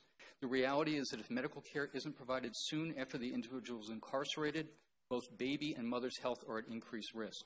This bill will also help to accomplish two major statewide goals. It will ensure entry into care for those in rural areas where access to community care is limited, and HB 44 will play a role in decreasing disparities in maternal mortality, particularly among African American women. HB 44 and its cross file have drawn bipartisan sponsorship because it, it closes important health care gaps regardless of the jurisdiction or political party that you represent. On behalf of the state's health officers, I ask for your support and welcome any questions. Thank you. Good afternoon, Mr. Chair, members of the committee. My name is Kimberly Haven. I'm here again today on behalf of um, Reproductive Justice Inside. This bill is quite honestly a very simple bill. It is about codifying best practices. At the end of the day, that's really all it is. It is not controversial. It is about ensuring good maternal health outcomes. It is about giving a pregnant individual agency over her body to seek the appropriate care and substance use treatment that she needs. While people are in our care, custody, and control, we have the opportunity, and I hate the word control, it's really supposed to be care, custody, and management, let's be honest, to give them the help that they need, the tools that they need to set them up for those good maternal health outcomes honestly, at the end of the day, I couldn't come before this body with a simpler body, with a simpler bill. Sorry, it's, I put one cup of coffee today. Um, this is simply about codifying best practices. It is about giving and arming an individual to seek the care that, that she needs, that she wants, and when she goes home back to her community, to be referred to a provider in her community that is going to continue that level of care. At the end of the day, that's all we really want. We want good maternal health outcomes. And this is one strong measure to ensure that. And again, best practices, codification. For that, I urge a favorable report on HB 44, and thank you. Good afternoon, Vanita Taylor from the Public Defender's Office. We request and strongly request that you support this bill and give it a favorable outcome. What we will say is two things. Release without treatment equals relapse. Incarceration without treatment equals relapse. If we in Maryland want healthy babies, healthy women, healthy families, then we must provide the required treatment that our citizens require and deserve. When we think about people who are um, abusing alcohol without treatment, we call them dry drunks. And everyone understands what that means. That means someone is just not drinking, but that does not mean that they've dealt with the issues that led to them being um, an alcoholic. The same goes for someone who has a substance abuse disorder. That if you are just clean because you're incarcerated, that does not deal with the issues that led to your substance abuse. You must deal with the issues that led to the substance abuse, or you will have relapse. It is proven, it is stated, it is known. We want clean citizens, we want healthy women, we want healthy babies, but we also want um, everyone to acknowledge that women are different than men, which is why um, there was the equity bill one year, then it was the pre-release center the next year, then it was the funding for the pre-release center the third year. This bill is about programming. Programming so that we can have equity across the spectrum regarding women who have who suffer from a disease, which is a substance abuse disorder, receiving the proper medical treatment that they require. Delegate Kaufman now for questions. Very briefly, Mr. Chair, thank you. Um, Delegate Lopez, it may come as no surprise to you that the Department of Corrections is opposed to your bill. And uh, they say essentially that we're already doing this and it would be a hassle. The bill would be a hassle for us. So they say we already do the substance use treatment and you know, we're already doing what Delegate Lopez wants essentially, and we do a great job at it. So, do you, other than that one harrowing anecdote that you gave, um, do you have other examples, or could you go into a little bit of your rationale about how maybe you disagree with them and how maybe they're Sure. not doing as well as they say? Sure. So, just briefly, from my understanding, they're not opposing. They just wrote a letter of information where they're explaining what their um, policies and procedures are. I think. Thank you. um, It sounded like a letter of opposition. Sure. so yeah. No. It's um, um, of course I welcome the support, right? Um, but I'll take a letter of information in, in the meantime. I think it's you know good to clarify things. I think that if their only opposition or only area of content is we're already doing this, we might as well codify it and, and bring it up to the standards that it needs to be. But I would, I'll defer to um, members of the, the sponsor panel to give individual stories that I think would be of interest to you. Thank you, Delegate. Good bill. So uh, keep, please, uh, committee, keep in mind that this is not only for state prison, but applies to local jails as well. And before we had our program at our local health department in Calvert, uh, women were not referred. We now have a very easy process, which should be replicable everywhere across the state. The, um, the health staff in the detention center knows us when they identify that an incarcerated woman is pregnant. The nurse picks up the phone. She knows exactly who to talk to. It's one phone call, and then we do all the work. So I think um, there was some um, in, in the Department of Public Safety Corrections letter, there might have been some um, misperceptions there. They do not register people for health insurance. That is our job. We have staff who do that. They just need to notify us that that woman is incarcerated. We do the work. So most of the actual burden is actually on local health departments and our partners. It's not actually on Department of Public Safety and Corrections. And if I could add to that very briefly, um, we know that the department says that they're doing this, and to Delegate Lopez's point, let's just codify it. But we also know that it's hit or miss. I've been in Western Maryland, I've been on the Eastern Shore, and every institution does something a little bit differently. It also depends on you know, what their prevailing ideology is. This way, if it's codified, we can at least ensure that we're moving in the right direction. And this really is best practices, and it should apply universally across the board and not subject to whoever's leading a facility. And I would tell you that whether it is happening in the local prison, we do know that in Jessup, a women's facility, it occurs depending upon who is the warden. And we have had several clients. I am also involved with the Family um, Recovery Program, a transitional housing program, and substance abuse drug court in Baltimore City. And we have been told by our residents that those who receive MAT treatment before they enter facility, that there is oftentimes a lapse before they receive their medication. Um, so this bill is needed to codify to make sure that it doesn't depend upon who is the warden, that this is a matter of Maryland law, that it will be done, no matter who is sitting in the big chair. Thank you all. Thank you, Mr. Chair. Further questions for the panel? Delegate Valentine. Thank you, Mr. Chair. And thank you all for coming in today. I do have a question on page three of the bill. It would be down in line, would start in line 15 and work our way down for subsections one, two, and three. Two and three refer to referring individual for care or referring folks. But number one says contact and work with the appropriate government agency.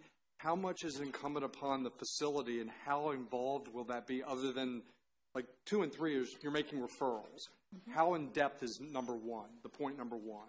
So in our county, it is one phone call. That Misty, who's the head nurse over in our jail, she knows me. She has my cell number. She has my nurse who heads our programs cell number. She just needs to make a call. We take care of everything else. We contact Department of Social Services. We help out with insurance all of the substance use care that's going to happen out in the community as, as, mm-hmm. as um, people transition back out. And we need to keep in mind with justice reinvestment that there are lots of good. I worked with Delegate Barron on that bill a few years back. But one of the challenges of that is that when you have a pregnant woman who comes in, instead of being in, incarcerated for three months, she's only there for three days, you have a very limited window to be able to link her to services. Mm-hmm. And as was mentioned otherwise, if you miss that window, you're back into the same cycle. So it is very possible, because we've been doing it successfully for nine years in our county, to have a one phone call or one email, however you want to do it in your county, referral system, and that's the entire burden on the, um, on, on the detention center. And I understand that completely. Mine was just the wording because I, that could be interpreted 24 different ways in 24 jur, jur, different jurisdictions. The work with terminology. That was my only question. You explained it perfectly. It's more like a referral, like yeah. points two and three. Correct. A referral. Thank you. Seeing no other questions, we thank you all very much, and that concludes the testimony for House. Oh, no, it doesn't. We have one person in opposition. I'm sorry. Uh, so we're going to hear from one person in opposition. Deborah Brocato, please. For two minutes once she gets settled in. Good afternoon, Chairman and uh, members of the committee. My name is Deborah Brocato, and I'm from Maryland Right to Life. And we would like to commend Delegate Lopez for her humanitarian concern for pregnant women who are incarcerated and suffering from drug addiction if the intention of the bill is only for that purpose to, to help her with her drug addiction, and we definitely support that. What we are concerned with is any funding that would be for abortion or abortion services. Drug addiction falls under mental health care, so, and mental health care is a reason uh, used to provide coverage for abortion.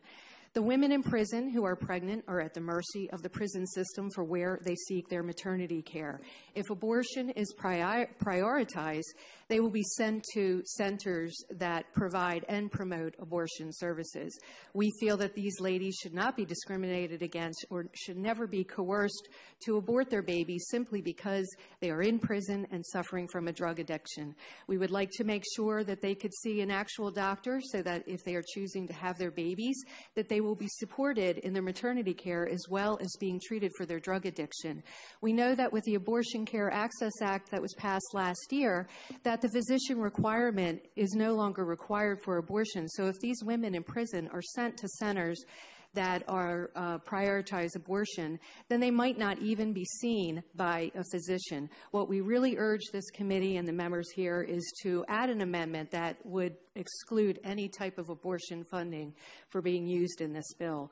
So we do care about the women in prison, but we want them to receive the, receive the best care possible, and that would be an obstetrician who can treat their uh, them and their unborn baby, but also treat them for their drug addiction. So we urge you to add an amendment. Without the amendment, we do oppose House Bill 44.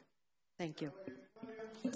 Yes, um, thank you so much um, for uh, coming and testifying. I guess I, am a little confused because I read the bill, Mhm. um, but I didn't see any mention of abortion in the bill or reference to abortion. So I, if you can just let me know where. There's no direct mention for abortion, but certainly when you talk about referrals and when we know that abortion is used to treat, um, you know, women come and, and and get abortion and abortion coverage for mental health reasons such as depression and or anxiety. And the woman could certainly while she if she's seeing a person for her maternity care and be coerced into saying well you're in prison and you're you have drug addiction maybe it would be better for your drug addiction to not be pregnant at this time.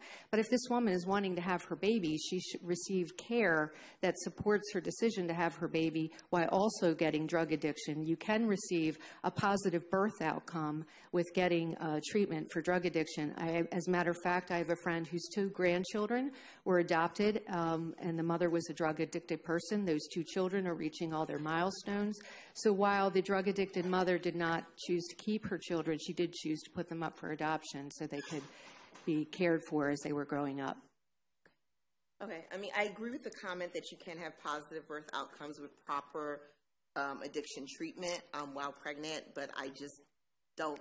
I, I've never heard the correlation about mental health and abortion. So, but thank you so much. I appreciate you coming before us. Seeing none, thank you very much. Great. Thank you very much for your time today. Thank you. Now that concludes uh, the hearing on House Bill 44. Now we'll go to the Baltimore City bills with uh, uh, the chair of the Baltimore City delegation, Delegate Smith. House Bill 632. Um, is it just you, Sheriff, or do you have anybody else? Just me. Joseph Whitaker, Lenora Dawson, Ke- Kevin Hayes. I- I'm going to handle it. You're going to handle it? Sounds good. All right. Uh, 632.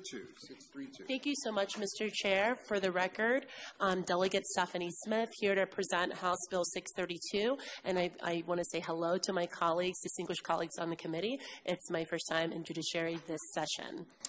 And so I'm excited um, to not only present this bill, but to present to some our newest sheriff, in the city of Baltimore, Sheriff Cogen. And so this um, is a bill that simply will um, expand our sheriff's capability to um, have the staff that he needs to execute his really grand vision for professionalizing, as well as providing more holistic services from his office. So I don't want to steal too much of his thunder because he's the expert here. But the most important thing is um, this bill would really um, remove kind of the administrative burden of always having to come back every time he needs to make certain hiring decisions. So this is um, a flexibility that I hope you do carefully consider extending um, through House Bill 632, and we definitely hope to receive a favorable report, but I would like to give him an opportunity to expand on that. Thank you, sir.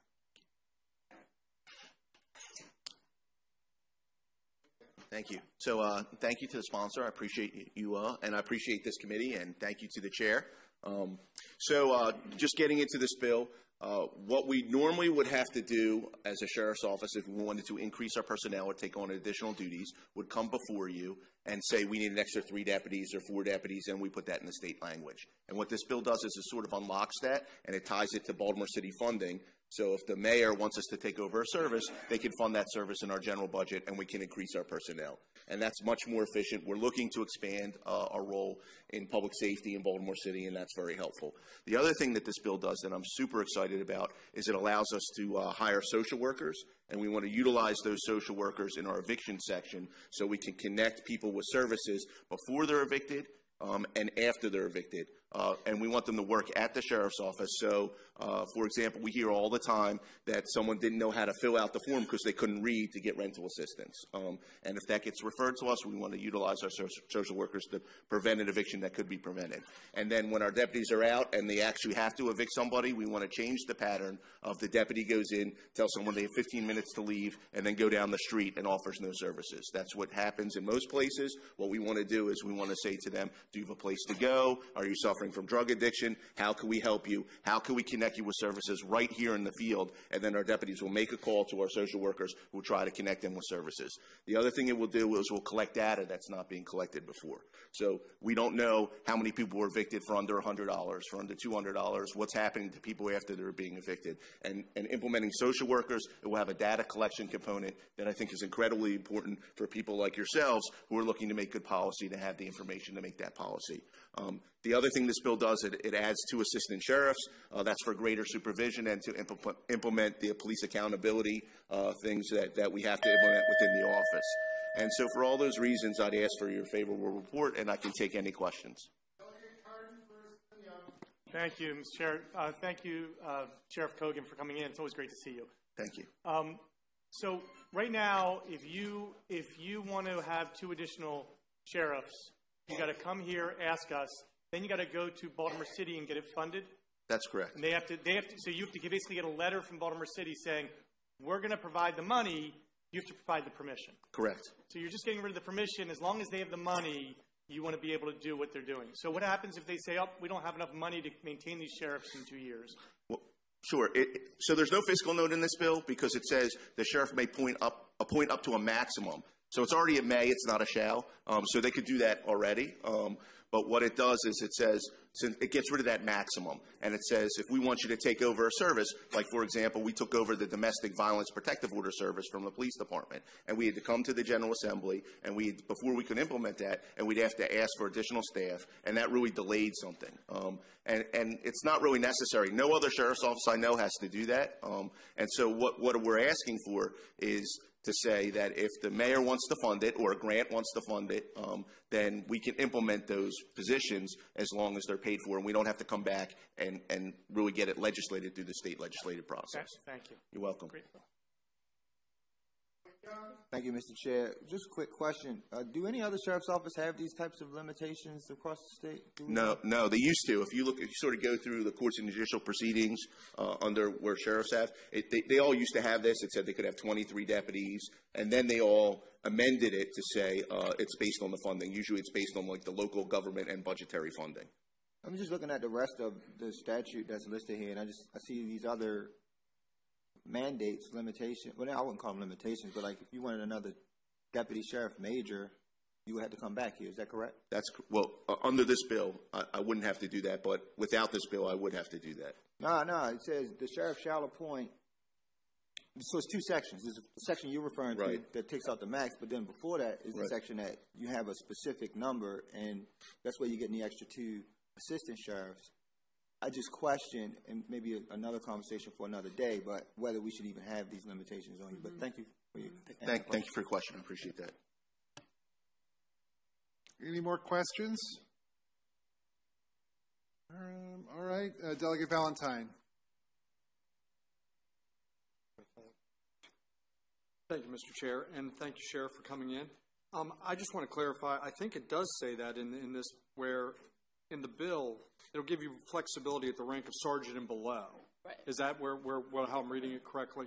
I, I believe so. Yes. And, and I believe in the fiscal impact where it says that there really will be no, um, No fiscal impact. Is this kind of like you can do like a restructuring within the personnel you have? Therefore, you're not going to have a fiscal impact because you can reallocate, promote, kind of move around, and that's why there's no fiscal impact. That's correct. And, and or or the fiscal impact is that the mayor can decide through the budgetary process to increase it. Um, and so there will be no fiscal impact there. And the assistant sheriffs we're adding, we we have them already. The city's already we are there are special assistant sheriffs, and that's just codifying this. So everything's paid for already. Thank you. Uh, Thank you, Chair. Uh, Sheriff, I just want to say thank you for being here. I, I've been on the opposite side of this a number of times. All right, I've, I've been a landlord in Baltimore City on a few different rentals, and I've, I've been on an eviction before, and, and it's a nerve-wracking experience and for me and for the for the tenant as well. Your data collection, your proactive approach, you know, proper staffing, I, I support that, you know, wholeheartedly. Thank you. you. know, when, when you have one or two rentals in the city, you don't understand the process either. And so when you can work with the sheriff's department so everyone can be educated, that's important. So thank you for your service. I I really appreciate that. Thank you. You're welcome. Isn't that so? All right. Seeing no further questions, all right, we got you out of here reasonably. Thank you. I Uh, Thank it. you very much to the sheriff. Thank you very much. That concludes the testimony on House Bill 632. Now, House Bill 613, which I believe includes Liam Davis, constituent of the 46th District, who committee is mildly admonished not to traumatize during this hearing. House Bill uh, 613, Liam Davis, Nina Themelis, I'll get it right someday, James Turner, and Tavon Braxton from the Baltimore City Department of Transportation. Go ahead, Delegate Smith. Thank you, Mr. Chair. And for the record, Delegate Stephanie Smith here to present House Bill 613. This is um, a local bill that is presented at the request of the Mayor Scott administration. And this bill is um, focused on ensuring that our special enforcement officers um, are provided the same level of protection under the law when they are unfortunately assaulted while performing official duties. You will hear testimony today from the Baltimore City Department of Transportation and reference to incidents where, um, you know, on record, there have been different um, concerns expressed by the Traffic Enforcement Division. Um, this legislation um, basically adds special enforcement officers, special parking enforcement officers, and special traffic enforcement officers to the list of first responders who currently receive greater protection under the law when, when assaulted in the commission of their duties. So um, I know there'll be further details provided by my panel, but I do um, hope that I can receive careful consideration and hopefully a favorable report for House Bill 613. Thank you, Mr. Chair. Thank you, Delegate Smith, for introducing this critical piece of legislation, and thank you, Chair Clippinger and Vice Chair Moon, for allowing us to speak here today about this important bill, House Bill 613. So, just to keep it very simple, House Bill 613 seeks to expand assault protections to Baltimore City traffic enforcement officers that already exist for police officers, parole officers, firefighters, first responders, and medics. Um, for those of you who are unaware, what is a TEO? A TEO is one of our traffic enforcement officers. They're critical for helping um, enforce parking regulations, whether it be residential permit parking, street sweeping, peak hour parking. Um, they help keep the corridors clear and free flowing of traffic during special events. So they do serve a critical purpose um, for the citizens and businesses of Baltimore. One thing of note that is worth mentioning is our TEOs are, are unarmed, and that makes it a pretty precarious situation when they are being assaulted. Um, and in terms of the demographic breakdown of our TEOs, the every single member who self-reported self-reported as African American, and the vast majority of our TEOs are also women. So we were talking about African American women who are often feeling the brunt of these assaults that are occurring. Um, we do want to mention that this legislation has the full support of our staff, um, and you will be hearing from our Deputy Director, Tavon Braxton, who will be providing more information. With that being said, speaking on behalf of Baltimore City Administration, we respectfully request a favorable report on House Bill 613. Thank you. Good, af- Good afternoon, Chair Clippinger and uh, other members of the committee. My name is Tavon Braxton. I'm the Deputy Director of Operations for Baltimore City's Department of Transportation. Um, within my portfolio of oversight includes the Safety Division, wherein lies the brave men and women that have prompted House Bill 613 for your consideration. In my hand, I hold an abridged, not unabridged, abridged summary of documented assaults to our enforcement officers that include incidents that are described, accounts of males striking officers several times in the face after getting a ticket, uh, being spat on by a citizen, being struck by an unknown object in the face by a citizen, two males pull a gun on an officer, just to name a few. Note that many of the officers were women, well, are women, um, and the outcome is often no prosecution or arrest. Yet, in some cases, the officers are hospitalized. Um, if you recall in my earlier statement, I mentioned a summary of documented assaults. Undocumented accounts are not to be forgotten either. The irony is that many of our officers have formed a soldier like resilience born out of necessity due to the challenges in the field. Their first inclination is to defend rather than report, but as a result, many incidents are unreported. Now, by and large, you know, our officers enjoy the work that they do. You know, many have made a career as a traffic enforcement officers. Others have left due to the hazards. And with the fluctuating hiring and attrition, the looming dangers of the job exacerbate the challenges of staffing this workforce. Now, what we can say is with certainty is that the demand for parking and directional traffic enforcement will remain high. This bill would lend our officers the peace of mind of knowing that TEOs garner the same respect as first responders so that would be offenders will think twice before assaulting an officer, knowing that felony assault is subject to imprisonment in up to 10 years or a fine of up to 5000 or both, even if it's for a $52 ticket. So, in conclusion, the, the public will only grant the level of respect that leadership affords its representatives. Thank you. Uh, thank you, Chair Clippinger and members of the committee. My name is James Turner, and I work alongside Liam Davis in the BCDOT Government Affairs and Policy Office. I'm happy to be here today on AKA Day and show my support by wearing pink. And although not a part of any sorority or fraternity, both of my hey, both of my both of my parents are proud HBC unit uh, students were proud HBCU students at Agnes Scott and Morehouse University, okay. and I loved any opportunity to show my, show my support on for the bill, black sororities. on the bill, on the bill. Thank you. I won't belabor I won't belabor Mr. Davis's or Mr. Braxton's point for the sake of time. Here's what I will say.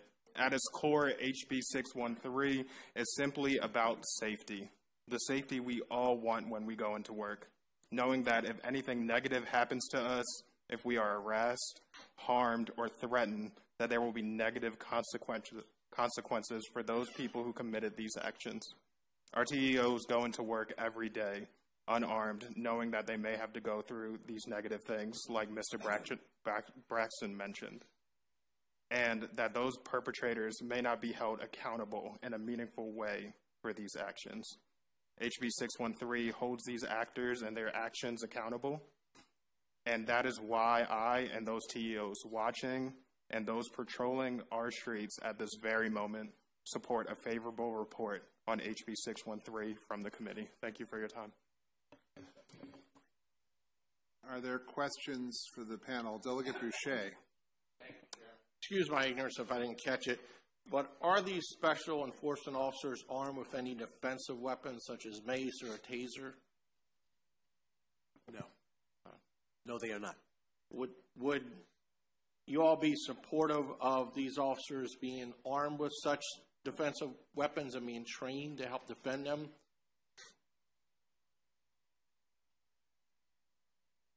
Not particularly. Um, I think there are implications to it. Uh, the, we, we don't want to we don't want to exacerbate the, the issue. We don't want them to be placed in positions to defend themselves. We just want precautionary measures to avoid these confrontations. May I add, um, just um, in terms of those um, first responders that are currently protected under statute, they do include medics who also normally do not carry those types of defensive weapons. So I just weapons. So I just want to note that we're asking for them to be included in um, a subgroup of um, workers who do not all have the same, you know, weapon access or training. So that, you know, just want to put that up there. I just seem to be concerned about female officers being victimized at a severe physical disadvantage. If we could potentially train them how to defend themselves of any defensive mechanisms, would add to what you're trying to truly accomplish here. And I'd be willing to hear maybe some amendments or something to help them in that, that avenue instead of just the enforcement, because this is after the fact. I'm trying to look at what's happening right then and there when a female officer is being assaulted. What avenues does she have to defend herself from those assaults? That's a big concern for all of us. Thank you. Delegate Valentine. Thank you, Mr. Chairman. I do have a question, um, in, in regards to EMTs and firefighters and, and rescue squad personnel. Um, they're typically in a group. Do your um, enforcement officers typically work alone, or do they work in tandem, like together, or how does that work? By and large, they work alone. There are times where they work in uh, groups of two or three, just when they're doing uh, more triage of, of locations. But for the most part, they work alone. And my last question, do they at least have some type of radio communication where they can converse, or, or if they did need assistance, they have that ability? They do have radio use. Thank you. All right, I have some questions. Um, have you considered issuing body cameras to traffic enforcement officers? Um, Thank you, uh, Mr. Chair. Based, based on your feedback at the recent um, City House delegation meeting, we did crunch numbers, um, talking with our friends at Baltimore City Police Department. Um, And this is preliminary. It would really need to be crunched down a little bit more, uh, further detail with Finance Department. That would add on a uh, annual cost we expect of over $270,000 um, per year. So that would be a conversation that we would have to have with City Finance Department to see if there are any dollars available to, to manage such a program and, and stand it up. All right, let me go to uh, uh, direct another question. You had you held up a binder with complaints. How many of those were were turned into criminal complaints? How many of those were filed in district court as Uh, as assaults? With, without knowing for sure, I would say at least 20%. So of how many? Uh, You don't know how many I don't know how complaints many there are. It's, it's plenty in there. Okay. Is the issue here that it's a felony or a misdemeanor because of the penalty, or is it? I mean, the penalty wouldn't change between an assault. An assault is ten years. This bill would keep it at ten years. It would just make it a felony as opposed to a misdemeanor. What is the issue more that police officers aren't able to make an arrest unless they see the assault when it's a misdemeanor as opposed to a felony? Is that the issue that we're dealing with here, or, or what's the issue? I, I believe that that is the issue, Delegate. All right. Um, I, yeah, I, traffic enforcement officers have impossible jobs. They, they absolutely, they absolutely have incredibly difficult jobs. And I guess my question, my broader question is, if the complaints are there and only 20% of them are actually turning into actual criminal complaints because people aren't going to file them, what, what's the difference if we, first, if we make it broadly a felony? If it's a question of further police involvement uh, with investigating them, and maybe that's a question for the BPD. But having said that, um, if it's also perhaps because it's harder to prove those things without some kind of additional evidence, then perhaps the body cameras would be helpful and pr- provide more of a deterrent for people who would seek to do violence against TEOs because they know they were on camera. Wouldn't you say? It's, it's something to consider, although I have heard, um, based on our research for this bill, if the body cameras, if, if the body cameras were were equipped, or if we equipped our TOs with body cameras, it wouldn't necessarily solve that. Um, now, we're willing to, to look into that further to get some additional clarity. Um, but again, I think our concern as a department with, with the body cameras is there would be a, a fiscal impact um, during times of scarcity, for lack of a better term. So we should raise the penalty to a felony and keep the penalty the same and not really try the cases in the first place or spend the money so that they can actually take video of these terrible things happening so that we can get them to stop. I think that we would be willing to um, work collaboratively to see if we can make both efforts work in tandem. But it's, it's something that we can't speak, we cannot speak on behalf of City Finance Department today. That's fine. Any further questions? Delegate Cardin. Thank you, Mr. Mr. Chair. Just real quick, if, if you, if there were body cams and body cams allowed for uh, easier prosecution of this, wouldn't it be the fact that you may get more restitution and possibly could there be actually some sort of damage clause for, maybe, I don't know, Mr. Chair might know this, for the city to be able to recoup money so that it could actually reduce the cost of the body cameras based on the increased um, enforceability? It's definitely something we're, we're, um, we will look into further, Delegate. Any further questions? Uh, I see two. Delegate, you asked one already? Delegate Conaway and then Delegate Young. Thank, thank you, Mr. Chairman, after you took my two questions that I first had. Thank you, panel, for coming in. Thank you, Baltimore City Delegation Chair. What is this, and what's the scarcity that we were talking about? Yeah, I would just, I would just. Oh, we don't have, Yeah, I would say that, um, and Delegate, great question. I, I would just say, like, each year, our, our annual operating budget uh, with the city of Baltimore is, is razor thin, and there are um, existing fixed costs, and this would be adding on an additional fixed cost. And it's just, it's, it's not in our area of responsibility. That's, that's something the finance department determines. it's not in your area of responsibility. Are you getting ready to take over the Baltimore City Police Department? I have no intention of doing that. No, is Baltimore City getting ready to take over the Baltimore City Police Department funding? So my understanding is that is a conversation that is happening. No, is your understanding that something that's about to happen? That, that is my understanding.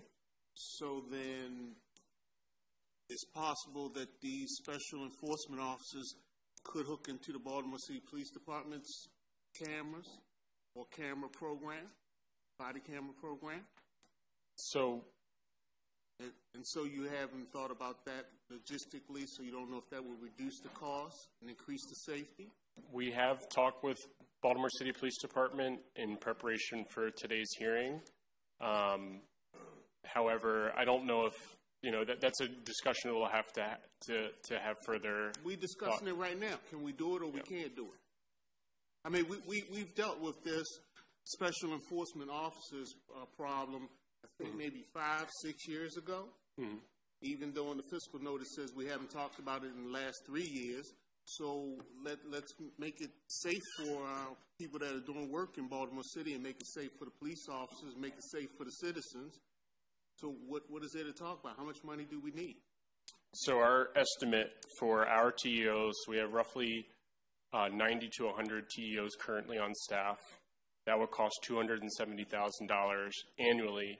in addition to the Baltimore City Police Department program, or if we added on to their program? That would be in addition to it. Because the, the, the police department has a body camera for each officer. We couldn't borrow what they have. Okay, true. Do they have uh, cameras in the cars also? In The police department? Yes. I do not know. Are you planning on getting cameras in the police cars? So I just want to be specific. I'm with the City Department of Transportation, so I, I just don't know. Okay, so you're with the City Department of Transportation. Do you have cameras on the uh, uh, mass transit system? So Uh, yeah. M.MTA does have cameras, but that's a s- state agency. Okay, so we need to look at getting the cameras together with the Baltimore City Police Department and see what the difference in the funding would be. Is that correct? If you would like us to get that information, Delegate, we would be happy to. Thank you very much. Thank you, Mr. Chair. So, Mr. Chair, quick clarification. Did I hear you say that Nina Themelis was on this panel? Yeah, she basically signed everyone off. She, she said, so Nina, uh, we had a lot of questions that obviously the Department of Transportation just isn't able to answer, and it makes sense because they only work on transportation. Liam does a great job there. So if you could just help us with some of these answers, if you can. Namely, my primary question is, if we pass this bill, is Baltimore City prepared to pay for it? So- I mean, excuse me, clarify, not this bill. If we were to do the body cam, is Baltimore City or could Baltimore City be prepared to pay for it?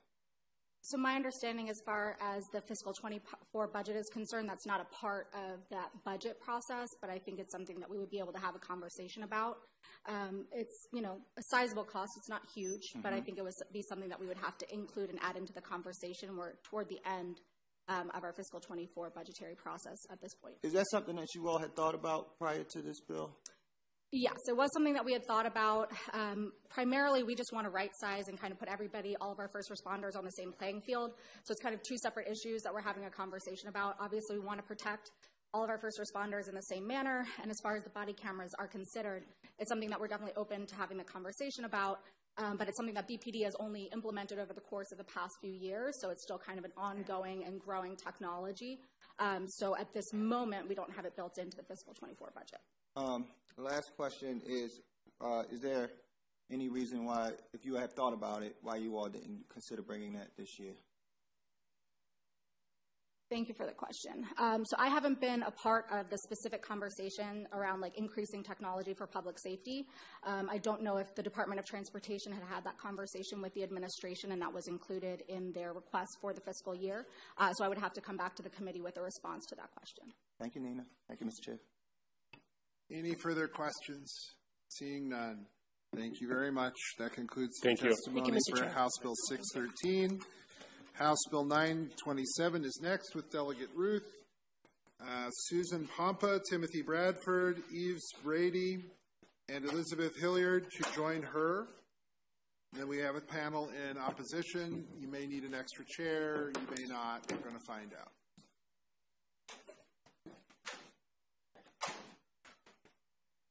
You won't. And that's fine. So we'll go ahead, Delegate Ruth, if you'd like to begin for three minutes, please. Thank you, Mr. Chair. Um, one of members of the committee, one of my favorite um, sayings, which I used to think was Albert Einstein, but I've since learned he didn't say it, is that the definition of insanity is doing the same thing over and over again and expecting different results. We've been doing the same thing over and over again for the last 50 years of the so called war on drugs, um, mass incarcerating people, um, and it's, it's not making us any safer, and it's not reducing addictions, overdose deaths, or the impact of drugs. Um, the research has shown that arrest and incarceration do not act as a deterrent to drug use. Um, since from 1974 to 2019, the number of people in prison for drug related charges increased 1,910%, from 11,200 to more than 225,000. Yet from 1999, the earliest year for which we have overdose data available, overdose deaths increased 547%. So clearly, the, the drastic increase in incarceration did nothing to prevent overdose deaths. Addiction is a public health crisis, not a crime. People with substance use disorders need treatment, not incarceration. HB 927 decriminalizes the possession of very small personal use amounts of controlled substances, making it a civil offense with a fine of not more than $100. Um, in addition to the fine, the court may refer people under 21 for substance use or mental health assessment and or treatment, and if there is a trial, it directs the, the court to direct that to drug court. I'd like to call your attention to the testimony that you have from the Maryland um, Special Secretary for Opioid Response, um, who has submitted in support favorable testimony. I'd just like to quote from that briefly. Um, she's, uh, Secretary Keller says, the United States has criminalized drug possession and use for many years, and this approach has not resulted in fewer drug related deaths or healthier communities. A study found that individuals being released from incarceration were 12.7 times, 12.7 times more likely than the general population to die in the first two weeks following their release, with drug overdose being the leading cause of death. Um, so, um, if we if we genuinely want to help people, it's time to turn away from these harmful policies which do nothing to improve public safety or reduce drug use, and to treat addiction and substance use as the public health crisis that they are. HB 927 is one small but important step forward in treating substance use as a health issue and minimizing the harm caused by contact with the criminal justice system. I ask for a favorable report for HB 927. Thank you. Good afternoon, Chair, members of the committee. I'm back. Um, Elizabeth Hilliard on behalf of the Office of the Public Defender, and we are urging a favorable report for House Bill 927. Um, you're going to hear a little bit more broadly from Mr. Bradford about why we're in support. I'm going to speak a little bit about my personal and professional experience with addiction. I have actually represented a client who overdosed nearly immediately after being released from DOC. Incarceration is not treatment, and drug use and addiction is not a crime, it's a public health issue. Someone who is experiencing addiction cannot be bullied, cannot be arrested, cannot be incarcerated into treatment. They need resources, they need help, they need support, and they need to make the decision on their own to receive treatment. I know all too well that relapse is part of recovery and that recovery is a long road. It cannot be satisfied by drug court. It cannot be satisfied by time spent behind bars.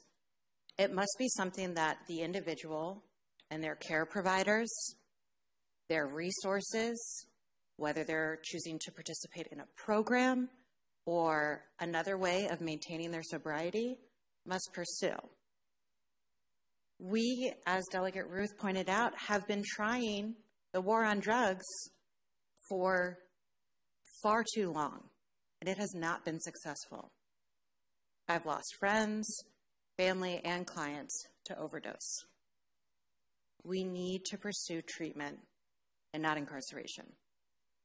Thank you.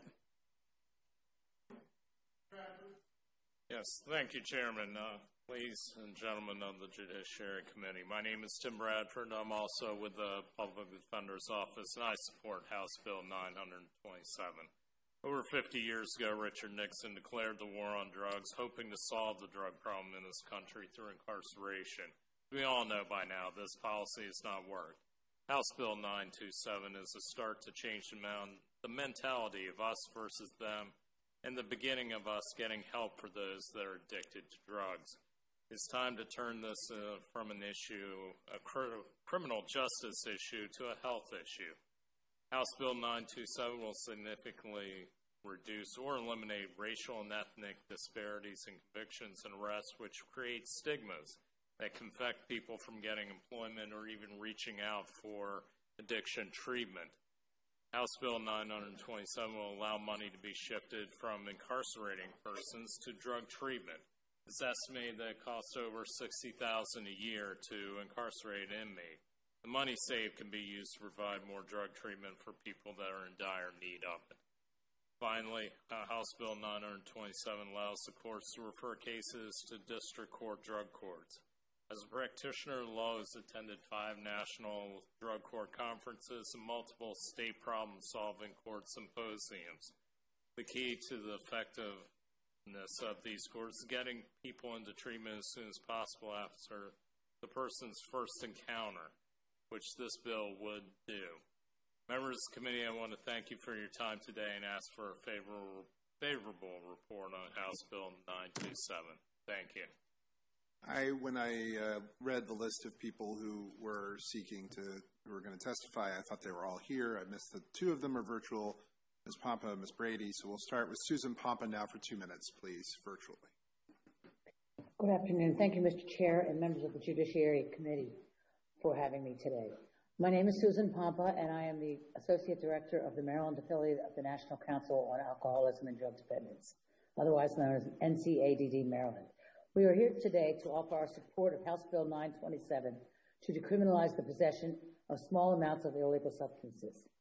NCADD Maryland hosted an annual conference a couple of years ago, and the featured speaker was the Director for Intervention on Addictive Behaviors and Dependencies in Portugal. That country decriminalized the possession of drugs in 1999, and their results have been outstanding and astounding. This change in policy has led to such outcomes as reductions in illicit drug use among the overall population, reduced expenditures related to drug offenders in the criminal justice system, increased uptake of drug treatment, and reduction in drug-related deaths and the transmission of infectious diseases.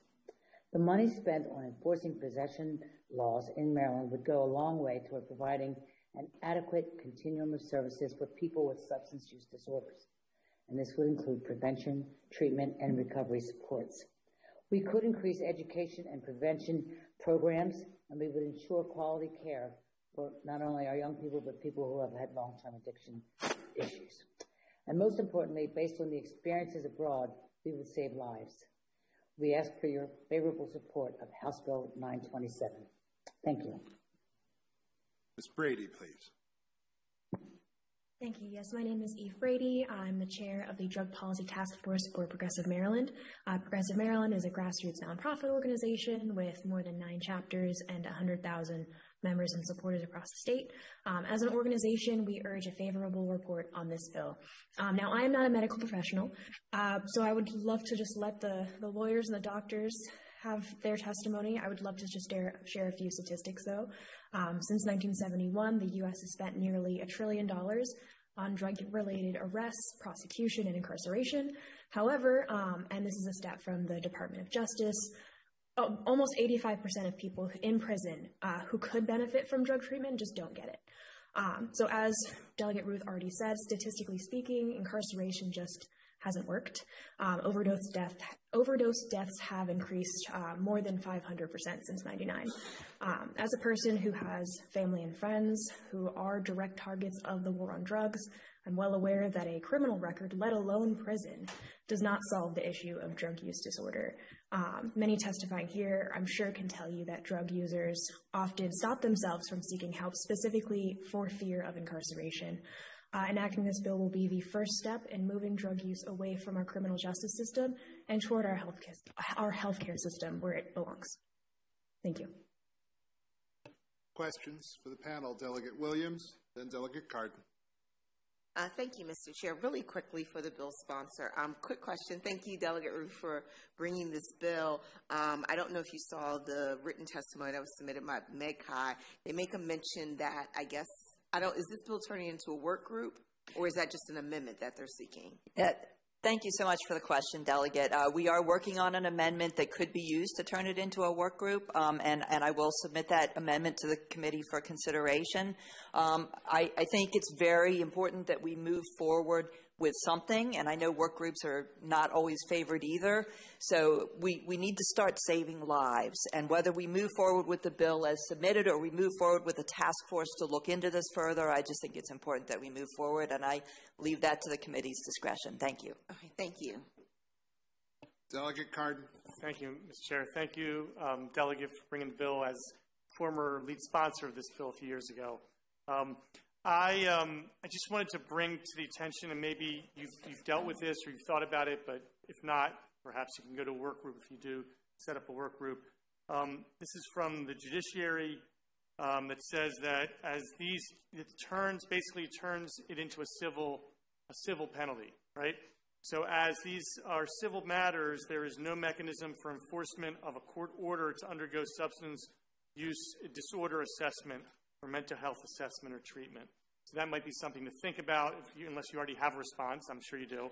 I'd like to defer to my panel on that. And then the other, the other comment that they said was that um, it, um, the bill requires uh, the cases to go to certain cases to go like directly to a drug court, but um, these problem-solving courts are intentionally voluntary, and it makes them involuntary. And so that might be an issue that you faced if you might have to change the, the way that these um, problem solving courts are, are established. Did you want to?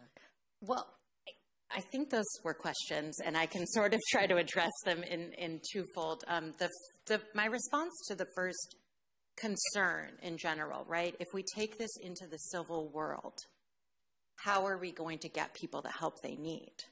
And my response is that's why we have a healthcare system, right? We, we do not need to rely on the criminal legal system to provide people health care.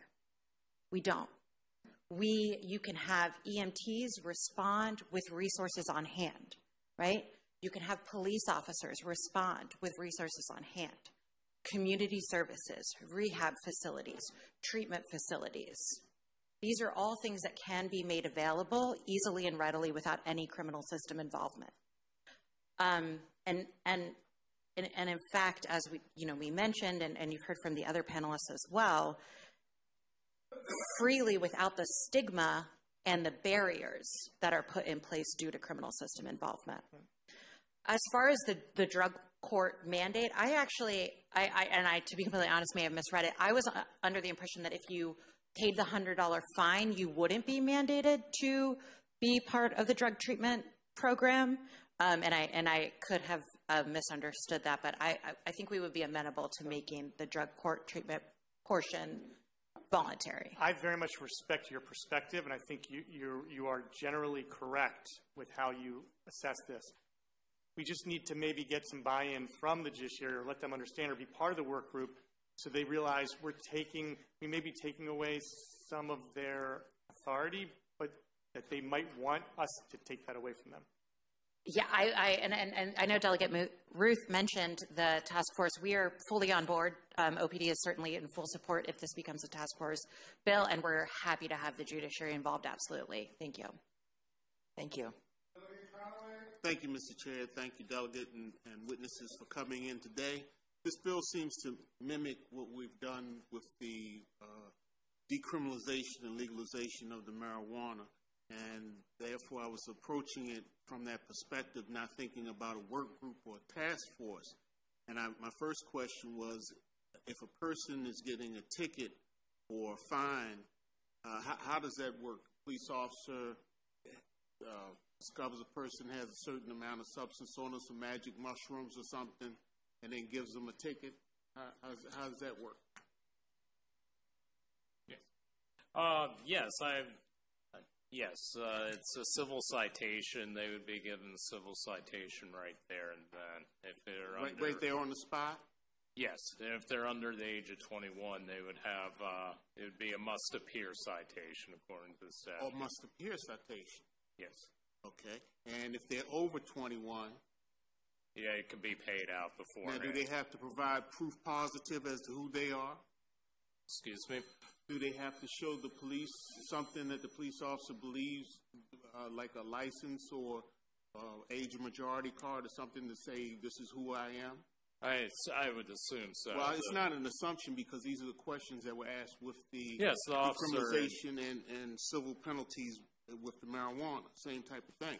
For example, if the police officer uh, finds you have something on you that looks like a magic mushroom, but might be something you picked up for ground off the ground, and maybe you're selling fake mushrooms, how will the police officer know the real mushrooms from the fake mushrooms? Will they have test kits? Well, you would still have a right to a trial. You get the citation, you could pay it, or you could. Uh, no, that's not what I asked you. I didn't ask you about a trial. How do you get to trial without going to central booking?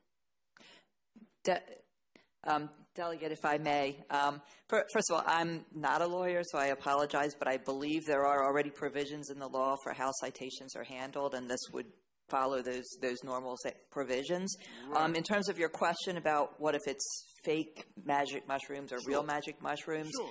um, so so they would the police officer would if the police officer believed they had and I hate to use that term, magic mushrooms, but let's say they, they believed that they had a small amount of controlled substances, they would issue the citation.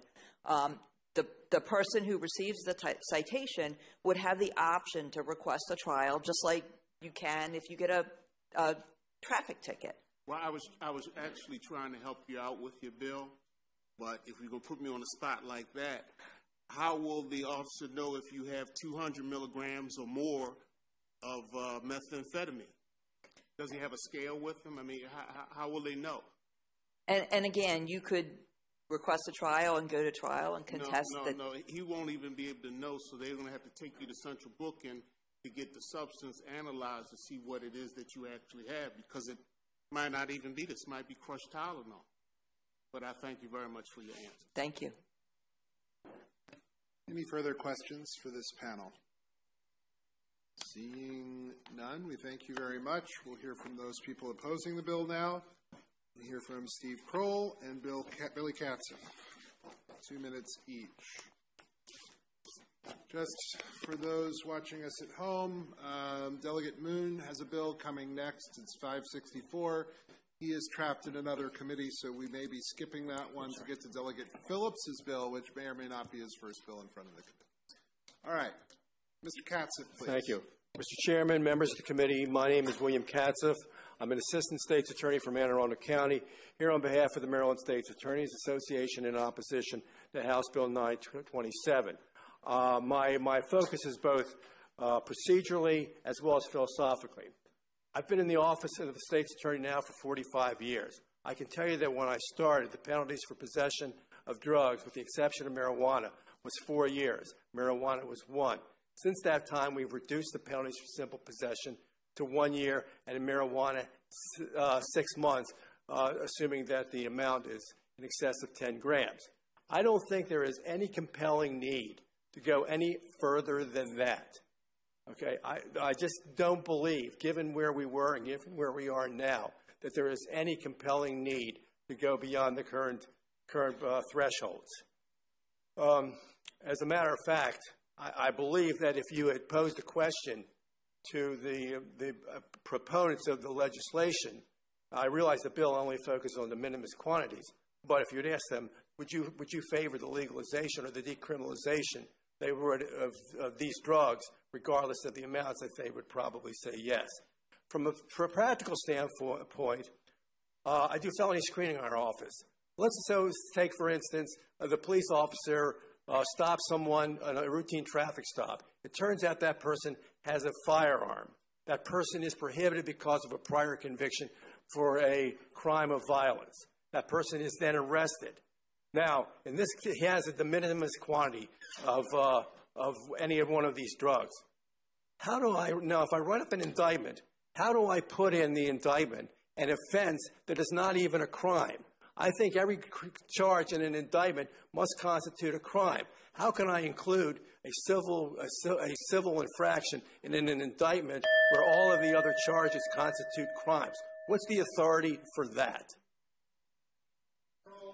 Good afternoon, Mr. Chairman, ladies and gentlemen of the committee. I'm Steven Kroll, the State's Attorney Coordinator and the Executive Director of the Maryland State's Attorneys Association, and I've been prosecuting cases since 1984 here in opposition to House Bill 927.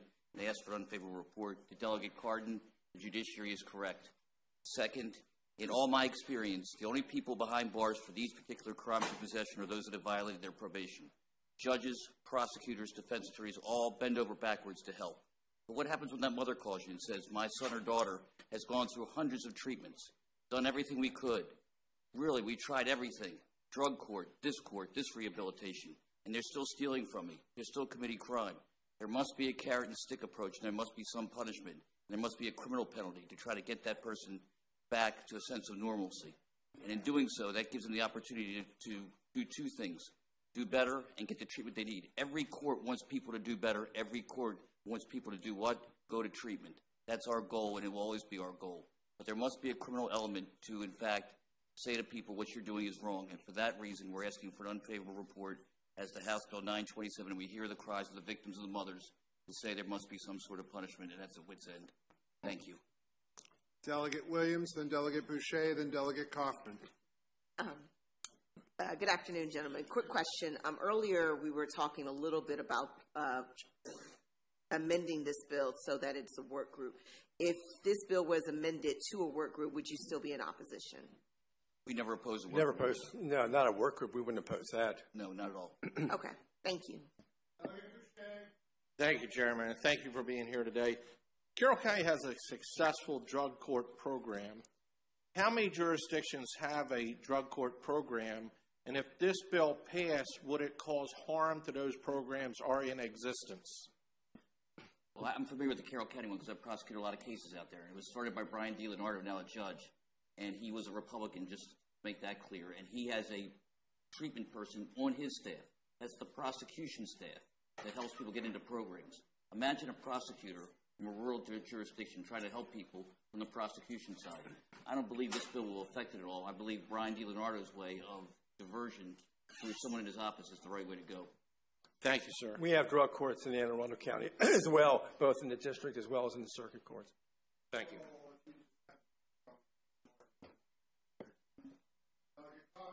Thank you, Mr. Chair, for what I believe will be my final question of the day. I have a question, for Mr. Um, um, um, thank you, uh, Mr. Mr. Kestoff, is? Yes. Well, thank you for coming down, and thank you for what you do to um, protect um, the people of uh, Anne Arundel County, and you do happen to have an amazing coworker.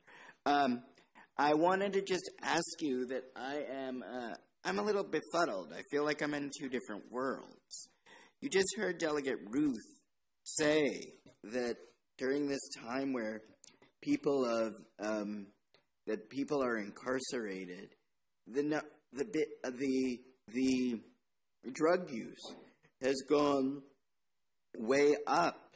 So to me, uh, to me, you say, "Oh, the penalties have been reduced," but to me, um, I think that's a good thing because, as Dr. Phil used to say, how how's that working for you? And it doesn't seem like the law and order approach is working. So my question is, do you have data that shows that after an incarceration, um, people are much more likely to be clean, or uh, and that incarceration actually results in uh, less um, less drug use? Thanks. I don't have any data that, with regards to that. I mean, if you, I could certainly try to furnish you some, but I don't happen to have any at this particular moment. Uh, that would be great because you just heard Delegate Ruth um, cite data that, um, in fact, during the war on drugs, the number of people using and incarceration, uh, the number of people incarcerated has been used. So if you're saying it's such an important and effective tool, I would like to see uh, the data. Thank you very much. Sure. Well, the question, let me ask, let me just say one other thing. With regards to the people who are incarcerated, I suspect the people that are incarcerated are those that are that have been convicted of felony offenses. I don't know too many people. I don't think there's anyone that's in the Division of Corrections who has simply been uh, convicted of uh, possession. Certainly not marijuana. These people, I think, typically have been uh, sentenced uh, to the DOC because it has to be more than a year in order for them to uh, be eligible for the Division of Corrections. Further questions for the panel? Delegate Conaway. Thank you, Mr. Chairman. I can't say this will be my last question. Thank you, gentlemen, for coming in to testify today. I gave an example earlier. I gave an example earlier about what I thought would happen if an officer found someone with a, a substance that they didn't know, that the officer didn't know what it was or how much it weighed. I was wondering if you could comment on how that how that might uh, play into a civil offense if, if, if this bill were to pass. Well, I think, cur- I mean, wait, I think currently with regards to marijuana, I mean, by and large, I don't know whether or not the police officer has a skill. Oftentimes, it's just simply a matter of perhaps looking at it, having some familiarity with, you know, the, the weight of marijuana, whether it whether it's greater or less than 10 grams. Okay, then of course, if it's less than 10 grams, there'll be a citation. If it's more than 10 grams, there, it may be included on a statement of charges. Ultimately, drugs have to be analyzed in order to determine whether they are what we allege that they are. So uh, when you get a civil offense, is there a statement of charges? No, if, if it's a civil, if it's a citation. This, this says civil offense. Civil, if it's a citation. Citation. So if, and I used the term magic mushrooms earlier because I'm not really sure what the correct term is for these mushrooms, but it says mushrooms. So if the officer. Like psilocin, I guess it's Yes, psilocybin, something also like considered mushroom? Yes, psilocybin. So if the officer believes that the substance are some, some of these mushrooms, how, how would he write up the citation, the civil citation? Well, reference- he would charge him, I guess, either with, what, psiloc- uh, psilocin, um, or psilocybin, I'm not, there are two different kinds. It's- Which one? Both of them? One? Okay. He would, the, the uh, officer, right now, it's a, it's a crime. There's no civil infraction, okay? It's a crime. So the officer would include that in a statement of charges, indicating that the person is in possession of, uh, of uh, psilocin, okay? And, and then the person would be taking the central booking? Well, not necessarily. Not necessarily. I mean, if the person is arrested on site, okay, then they would probably be taken. They would be taken to, say, the police uh, to the police station to be processed. Uh, if, for instance, the the uh, the police opt to go a different route, there may be other charges, and they apply for a statement of charges because there may be another crime. They would uh, they might apply for a, a charging document, and the commissioner would issue it. But if the if the police officer were to determine that he or she is witnessing a crime, then they would arrest them and take them to uh, uh, to the uh, station to be processed, and ultimately to the commissioner's office. Okay, thank you very much. Further questions? Seeing none, we thank you very much, and that concludes the testimony for House Bill 927. We're going to skip Delegate Moon's bill and go to Delegate Phillips's bill. May or may not be his first bill in front of the committee. And he's the only person testifying. I'm not sure which we like more. really simple, Mr. Chair. Oh Really dear, simple. fairly simple bill. So we might as well what hour and a half? How long we need? A delegate, let's only give him three minutes. Delegate, go ahead. All right, Chairman Clippinger, and in his absence, Vice Chairman Moon and the fellow members of the committee.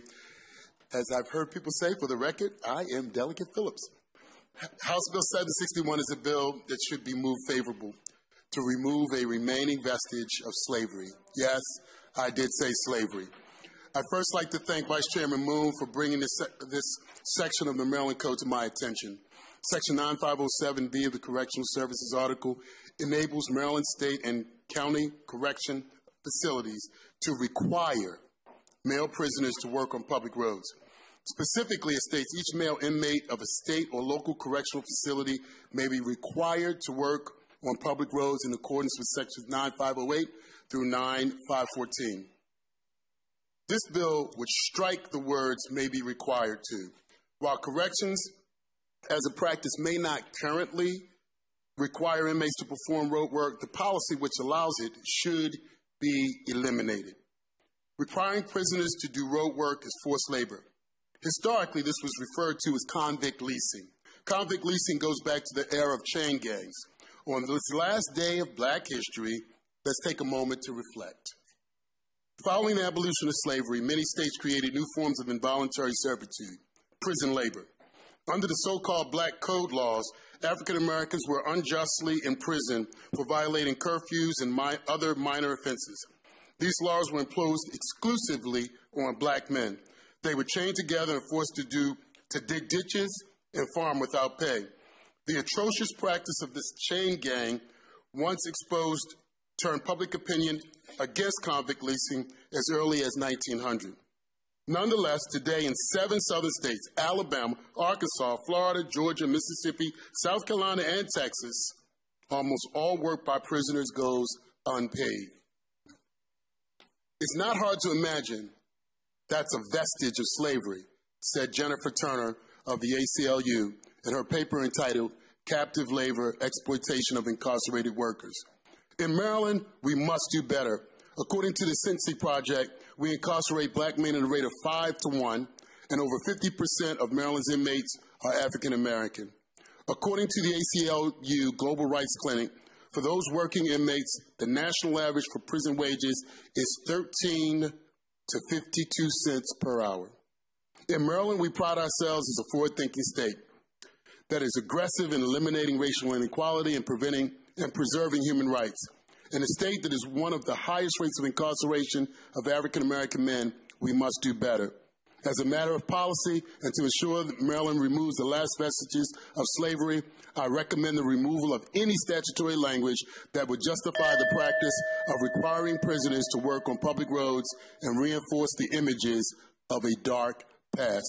I ask for the favorable report on HB 761. Thank you, Mr. Chair. Thank you, Mr. Chair. Um, Delegate Phillips, congratulations on your first bill. And as a freshman,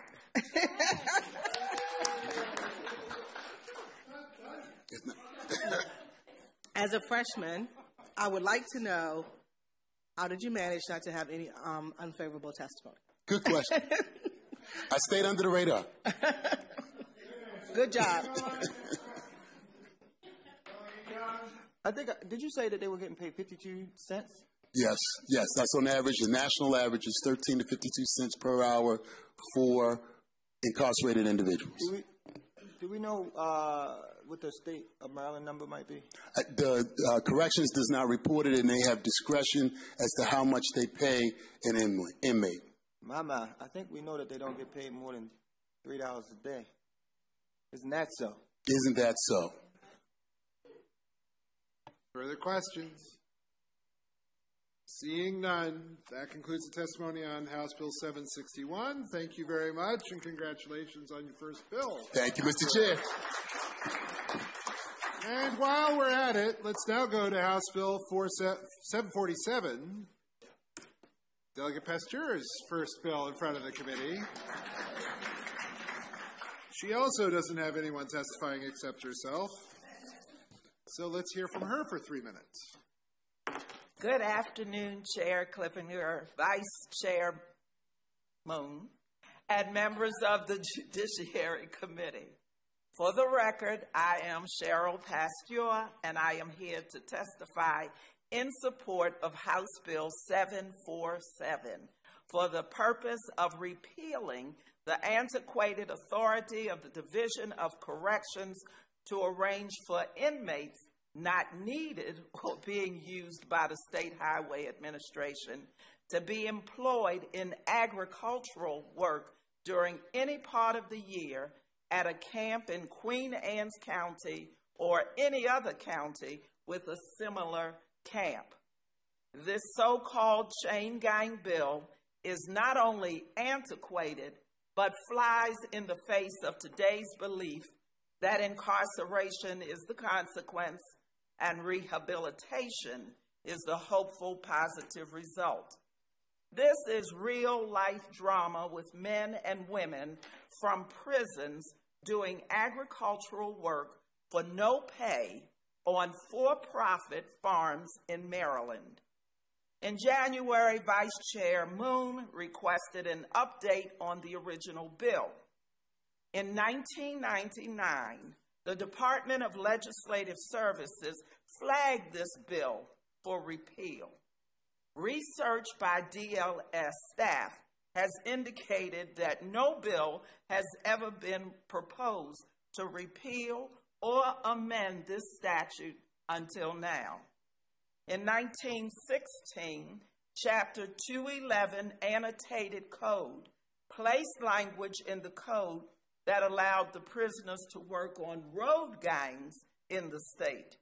In 1943, Senate Bill 285 repealed and reenacted with amendments the law providing for the use of prisoners assigned to camps in Queen Anne's County and other counties to harvest crops from August 1st to November 30th each year for no pay on for profit farms.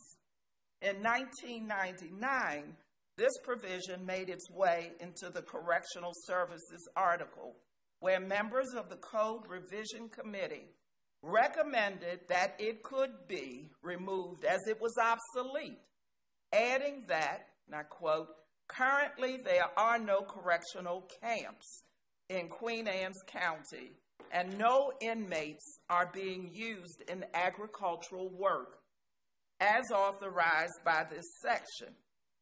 It's time to repeal this authority before someone in Maryland uses it to follow the example of the sheriff in Arizona, one in Georgia, and Sheriff Art Ivey in Brevard County, Florida, who asserts that the chain gang is a deterrent that instills a strong work ethic in the inmates and is a part of their rehabilitation.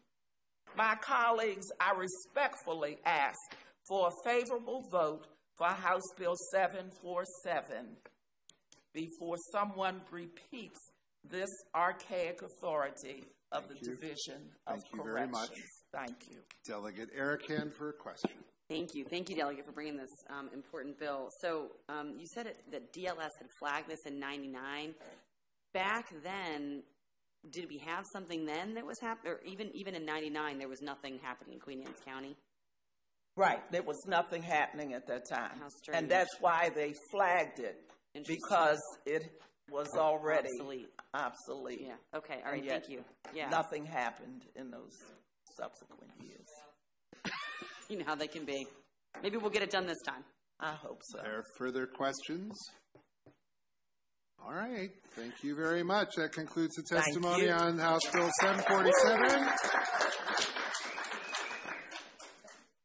We are making our way closer to Delegate Moon's bill. We may need, uh, we may need somebody to stand in for him. House Bill 640. Not her first bill. Victoria Venable, are you here? Victoria Venable from uh, Frederick County? Not unless she's online. Not unless she's online. Doesn't look like she's online. It's just you for three minutes then. All right. Thank you, my colleagues, for making all of my points for me so I can be super, super brief. Um, thank you, Chair Clippinger, and my distinguished members of our Judiciary Committee.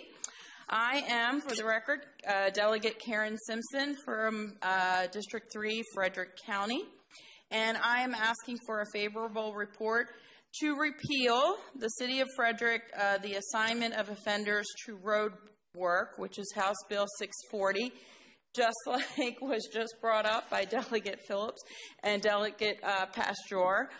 In Frederick City, there was in 1957, that is when this, um, this law was passed, and to require vagrants or homeless people to be um, assigned to being do uh, road work. So, and we have not been doing that in Frederick City for a very long time. We instead feed them, clothe them, and provide them housing.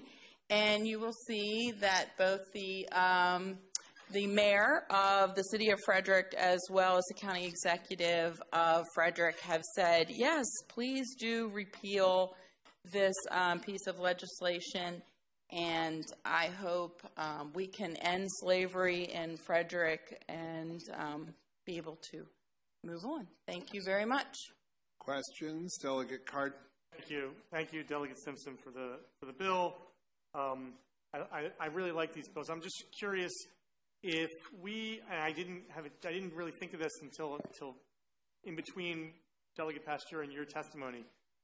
If people, if there's a prevailing wage that's being offered and people want to do work uh, as a way of passing their time in a, in a way that they, they can both get paid and they can have the support services that are required to do the road work, uh, make sure that they're protected appropriately. Should we deny them the ability to do it, or is this just repeal the requirement for them to do it if, if they don't want to? Um, we already do that. They go to career services if that's what they're interested in. That is not something that the court should be involved in. As, as an inmate?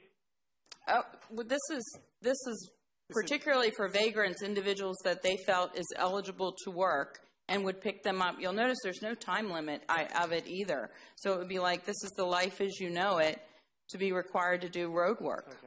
All right. I mean, this I'll- is I'll not the to- same. That's right. not. I'll talk it- to Delegate Phillips. I mean, I do understand what you're trying to say is whether or not people who are doing, if you did a prevailing wage, but I think that's Right. that bill, not this bill. This bill is literally homeless people who are primarily men who are able, according to whomever figures that out, forced to do work and that it becomes life as you know it. I finished delaying. My delay tactics are working, so that's good. Good job. Yes. Yay. All right. So that Delegate Moon can come along and do the state as we know it. Okay. Are there further questions on this bill? Seeing none, thank you very much. That concludes the testimony on House Bill 640. Now we're going to go to Delegate Moon's bill, House Bill 564, which we skipped, and then we're going to Delegate Arikan's bill. But uh, Delegate Moon has himself and Vanita Taylor. Oh, there we go. I'm so sad I missed the chain gang bill hearings, but oh well. All right. Um, All right, the Vice Chair for three minutes. Um, thank you, colleagues. House Bill 564. This is a super simple bill. I think it might even just be a one-word deletion. Um, if you've seen anything about me by now, you should know I love to modernize the code, and deleting other former delegates' past work um, is one of my favorite hobbies. I stumbled upon this um, bit of the code doing some research and saw that we authorized cities in Maryland to do a number of things, including banning vagrants. Um, this has obviously got to go. This is not how we do things today. Cities already have the power to ban vagrancy and homelessness by housing people and connecting them to services. And so, a uh, explicit prohibition um, is a very antiquated notion. Um, just to give you a little bit of um, background on this, I mean, this is you know, vagrancy laws have been around since English, um, you know, English uh, laws, and they came over to the states, and it, most states had used them against homeless people or unemployed people. Maryland, as in my research, had a very unique distinction. When we brought over the English vagrancy crimes, they were applied to freed slaves only. Um, and this was their um, primary purpose. And over the course of the history of the U.S., these laws have been used to target political dissidents. Um, the Supreme Court finally struck down a Jacksonville um, vagrancy statute as being um, unconstitutionally vague in 1972, and the use in Jacksonville was against two white women who were caught in a car with two black men. What possible permissible purpose could there have been to that um, vagrancy. So anyway, um, if you look through the fiscal note, it basically tells you we don't need to do this. The um, specific actual acts that are causing a danger themselves um, can appear in the code as prohibitions, but you don't actually need to go after um, homeless people as a status crime. I think that's wholly inappropriate in the year 2023. So let's get rid of it. Good afternoon. Quick and to the point. Um, being homeless isn't a crime, and we shouldn't treat it as such. Being homeless is an economic situation. Um, there are in Maryland in 2023 when they did a survey. I don't know how they did it, but they said it was 6,360 homeless people that they could account for in the state of Maryland. I think that number's low, but that's what statistically they came up with this number when I did some research.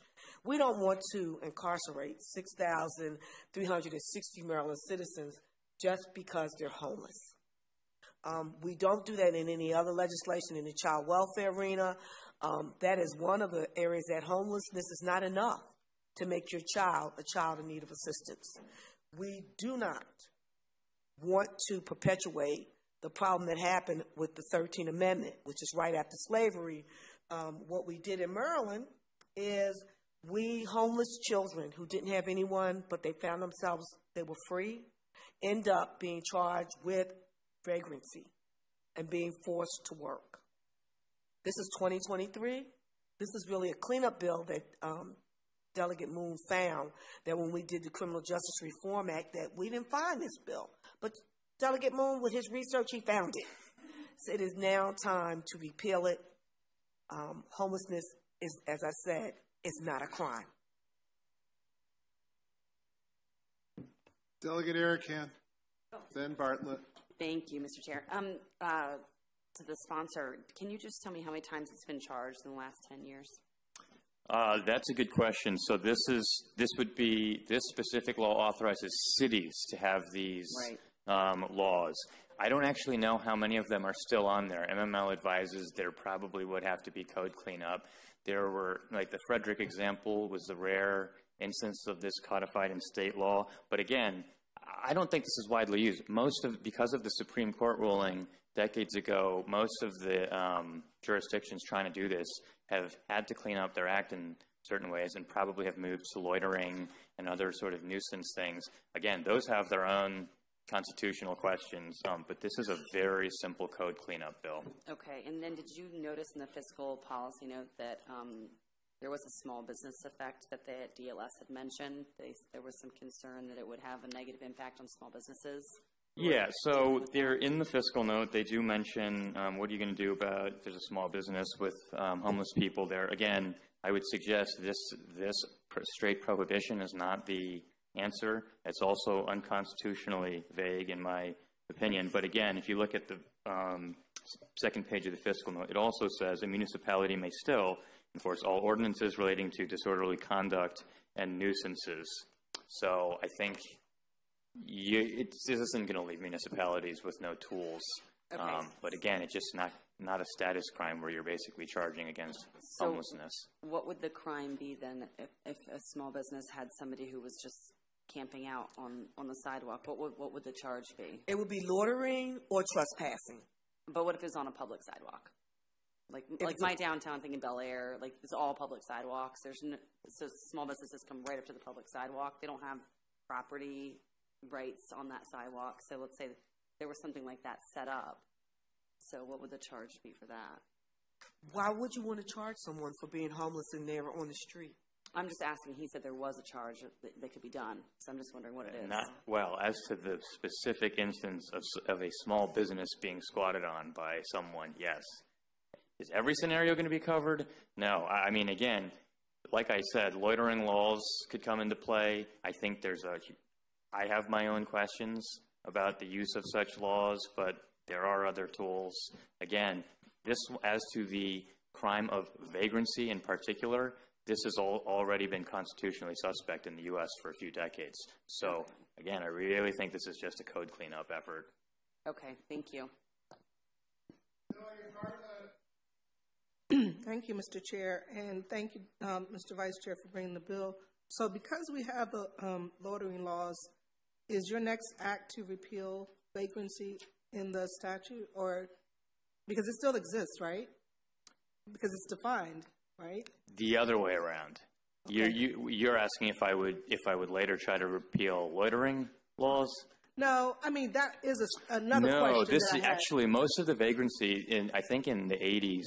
It actually, if you really want to know, it used to be all sorts of weird um, laws, and the one that stood in Maryland for a while was about vagrants and tramps. Tramps was the other, I guess, term of art that they liked to throw around for these. And it, you know, here, Wicomico, if you want to, this is what these looked like. Wicomico, 1959.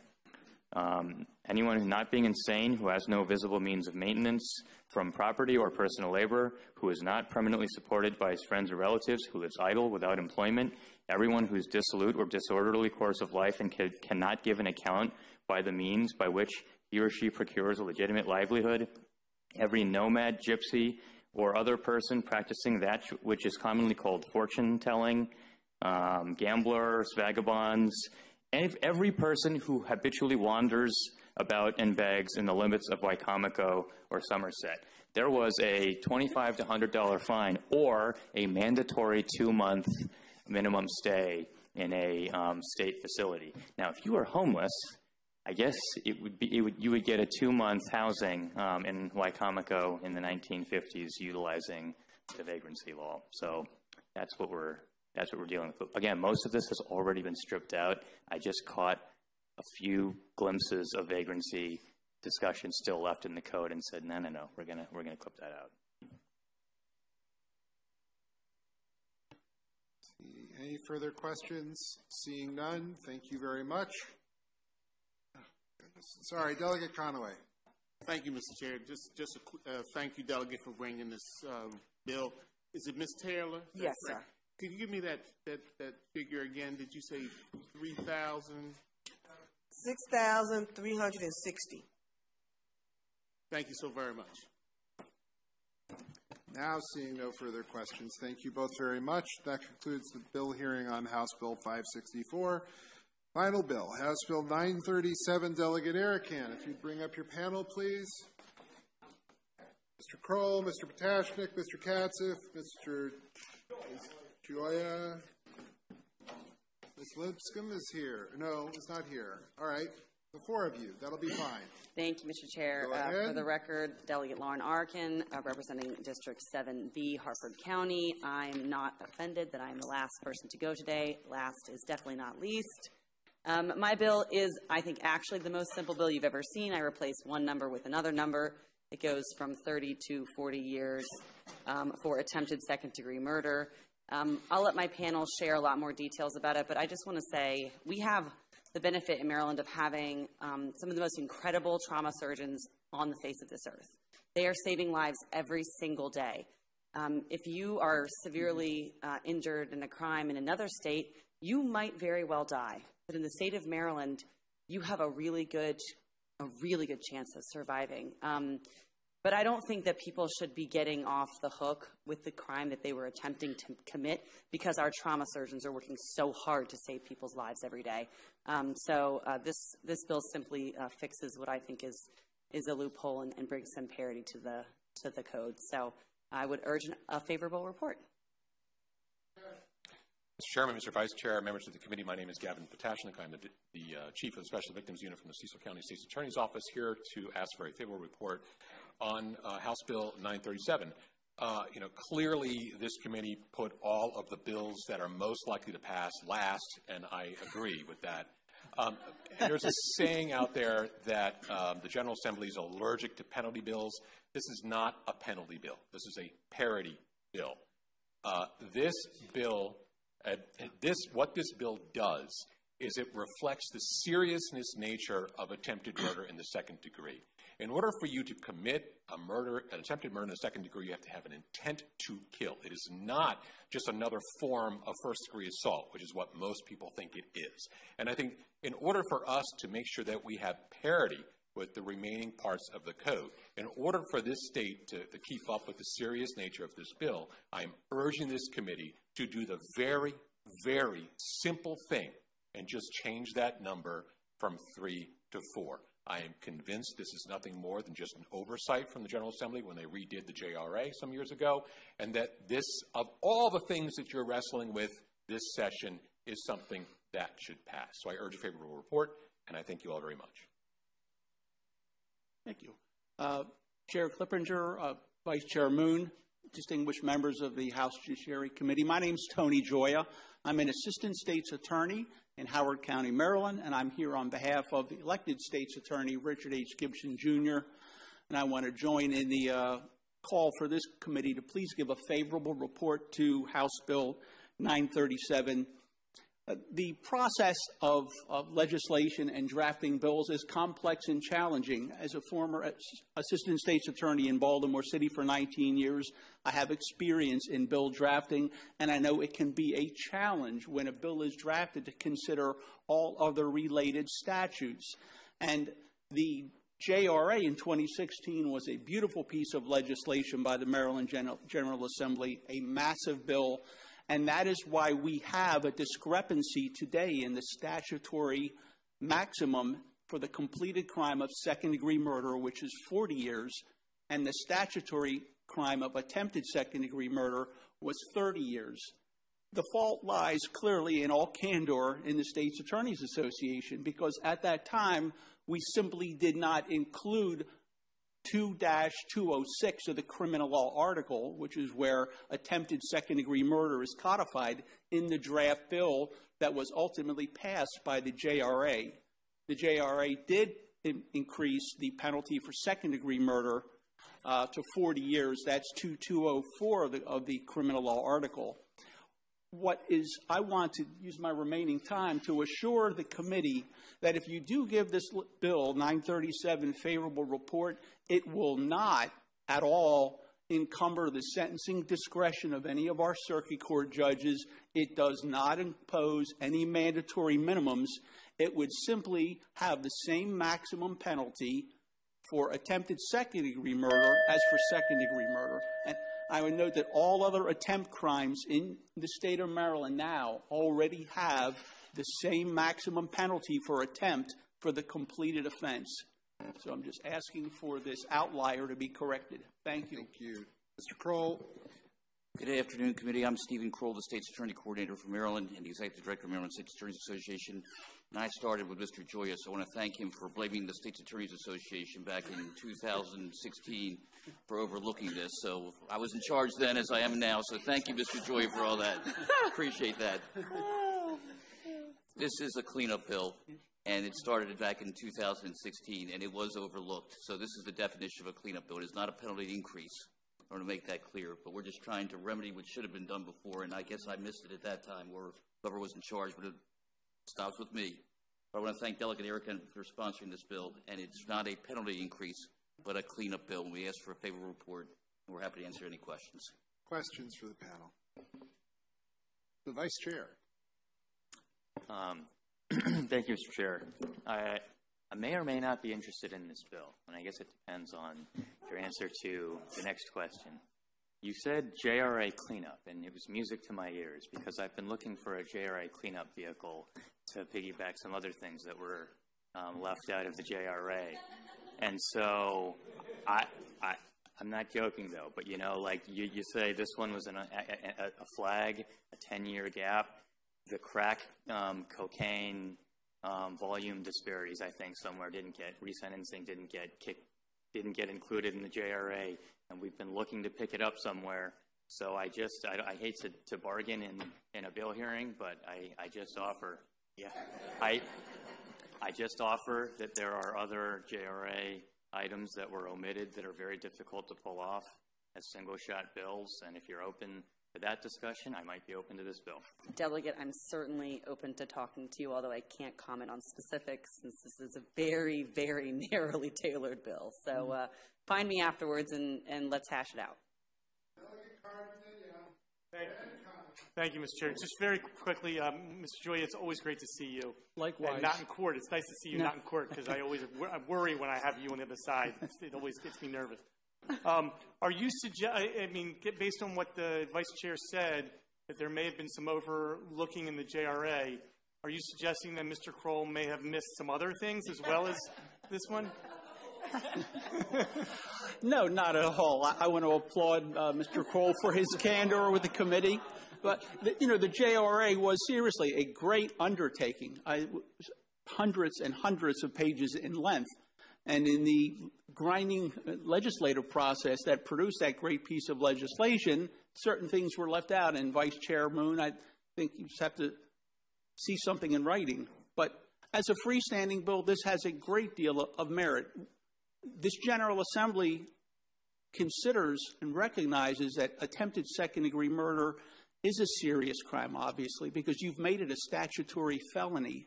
Most attempt crimes in Maryland are common law misdemeanors. So you have already recognized the seriousness of this offense by designated as, de- designated it as a statutory felony. And we were just looking for parity with the other attempt statutory uh, crimes that are already on the books.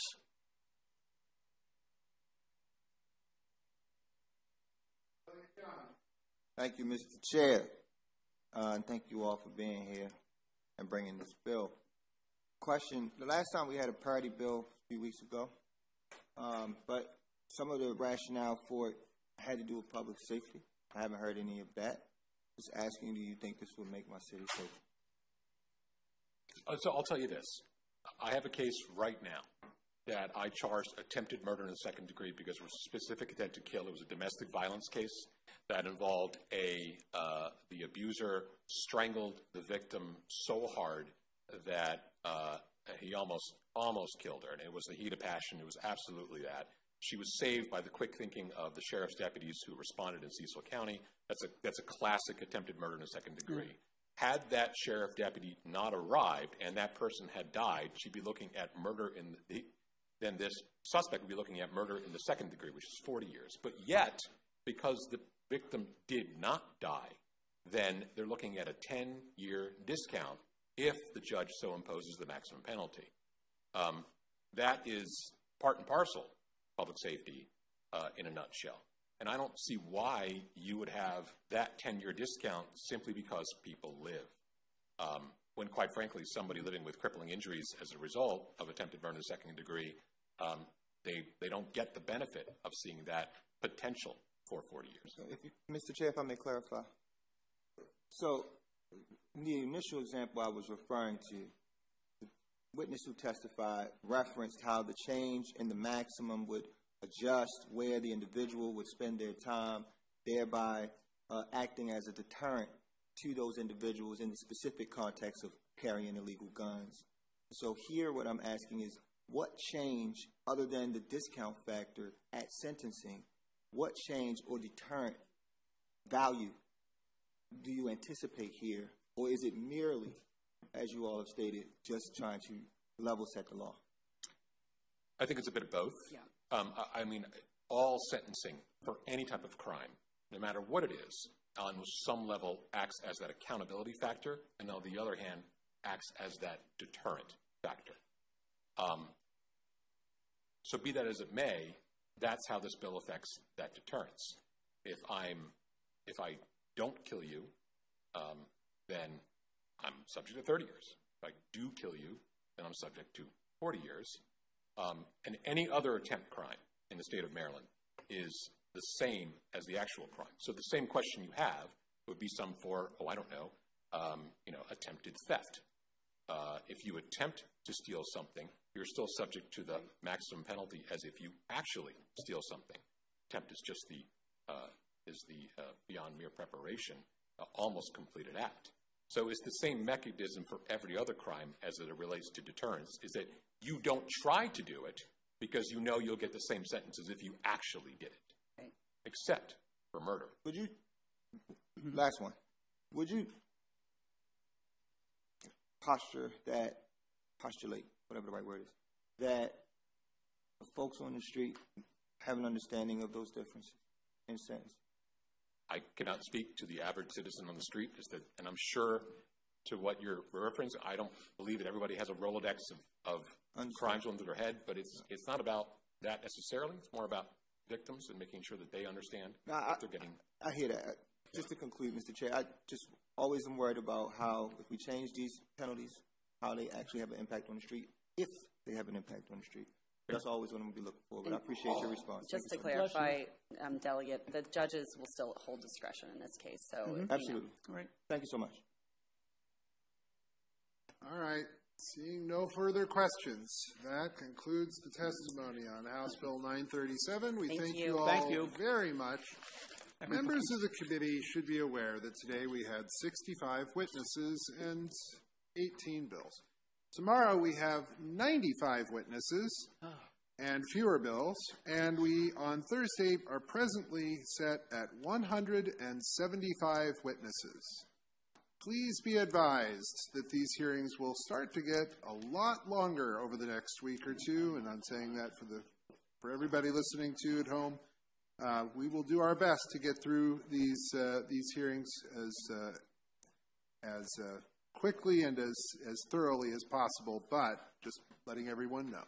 With that, it's before five o'clock, and I've dropped my gavel, so we can never leave. It's uh, 4:45. Thank you very much. That concludes the testimony today in the House Judiciary Committee.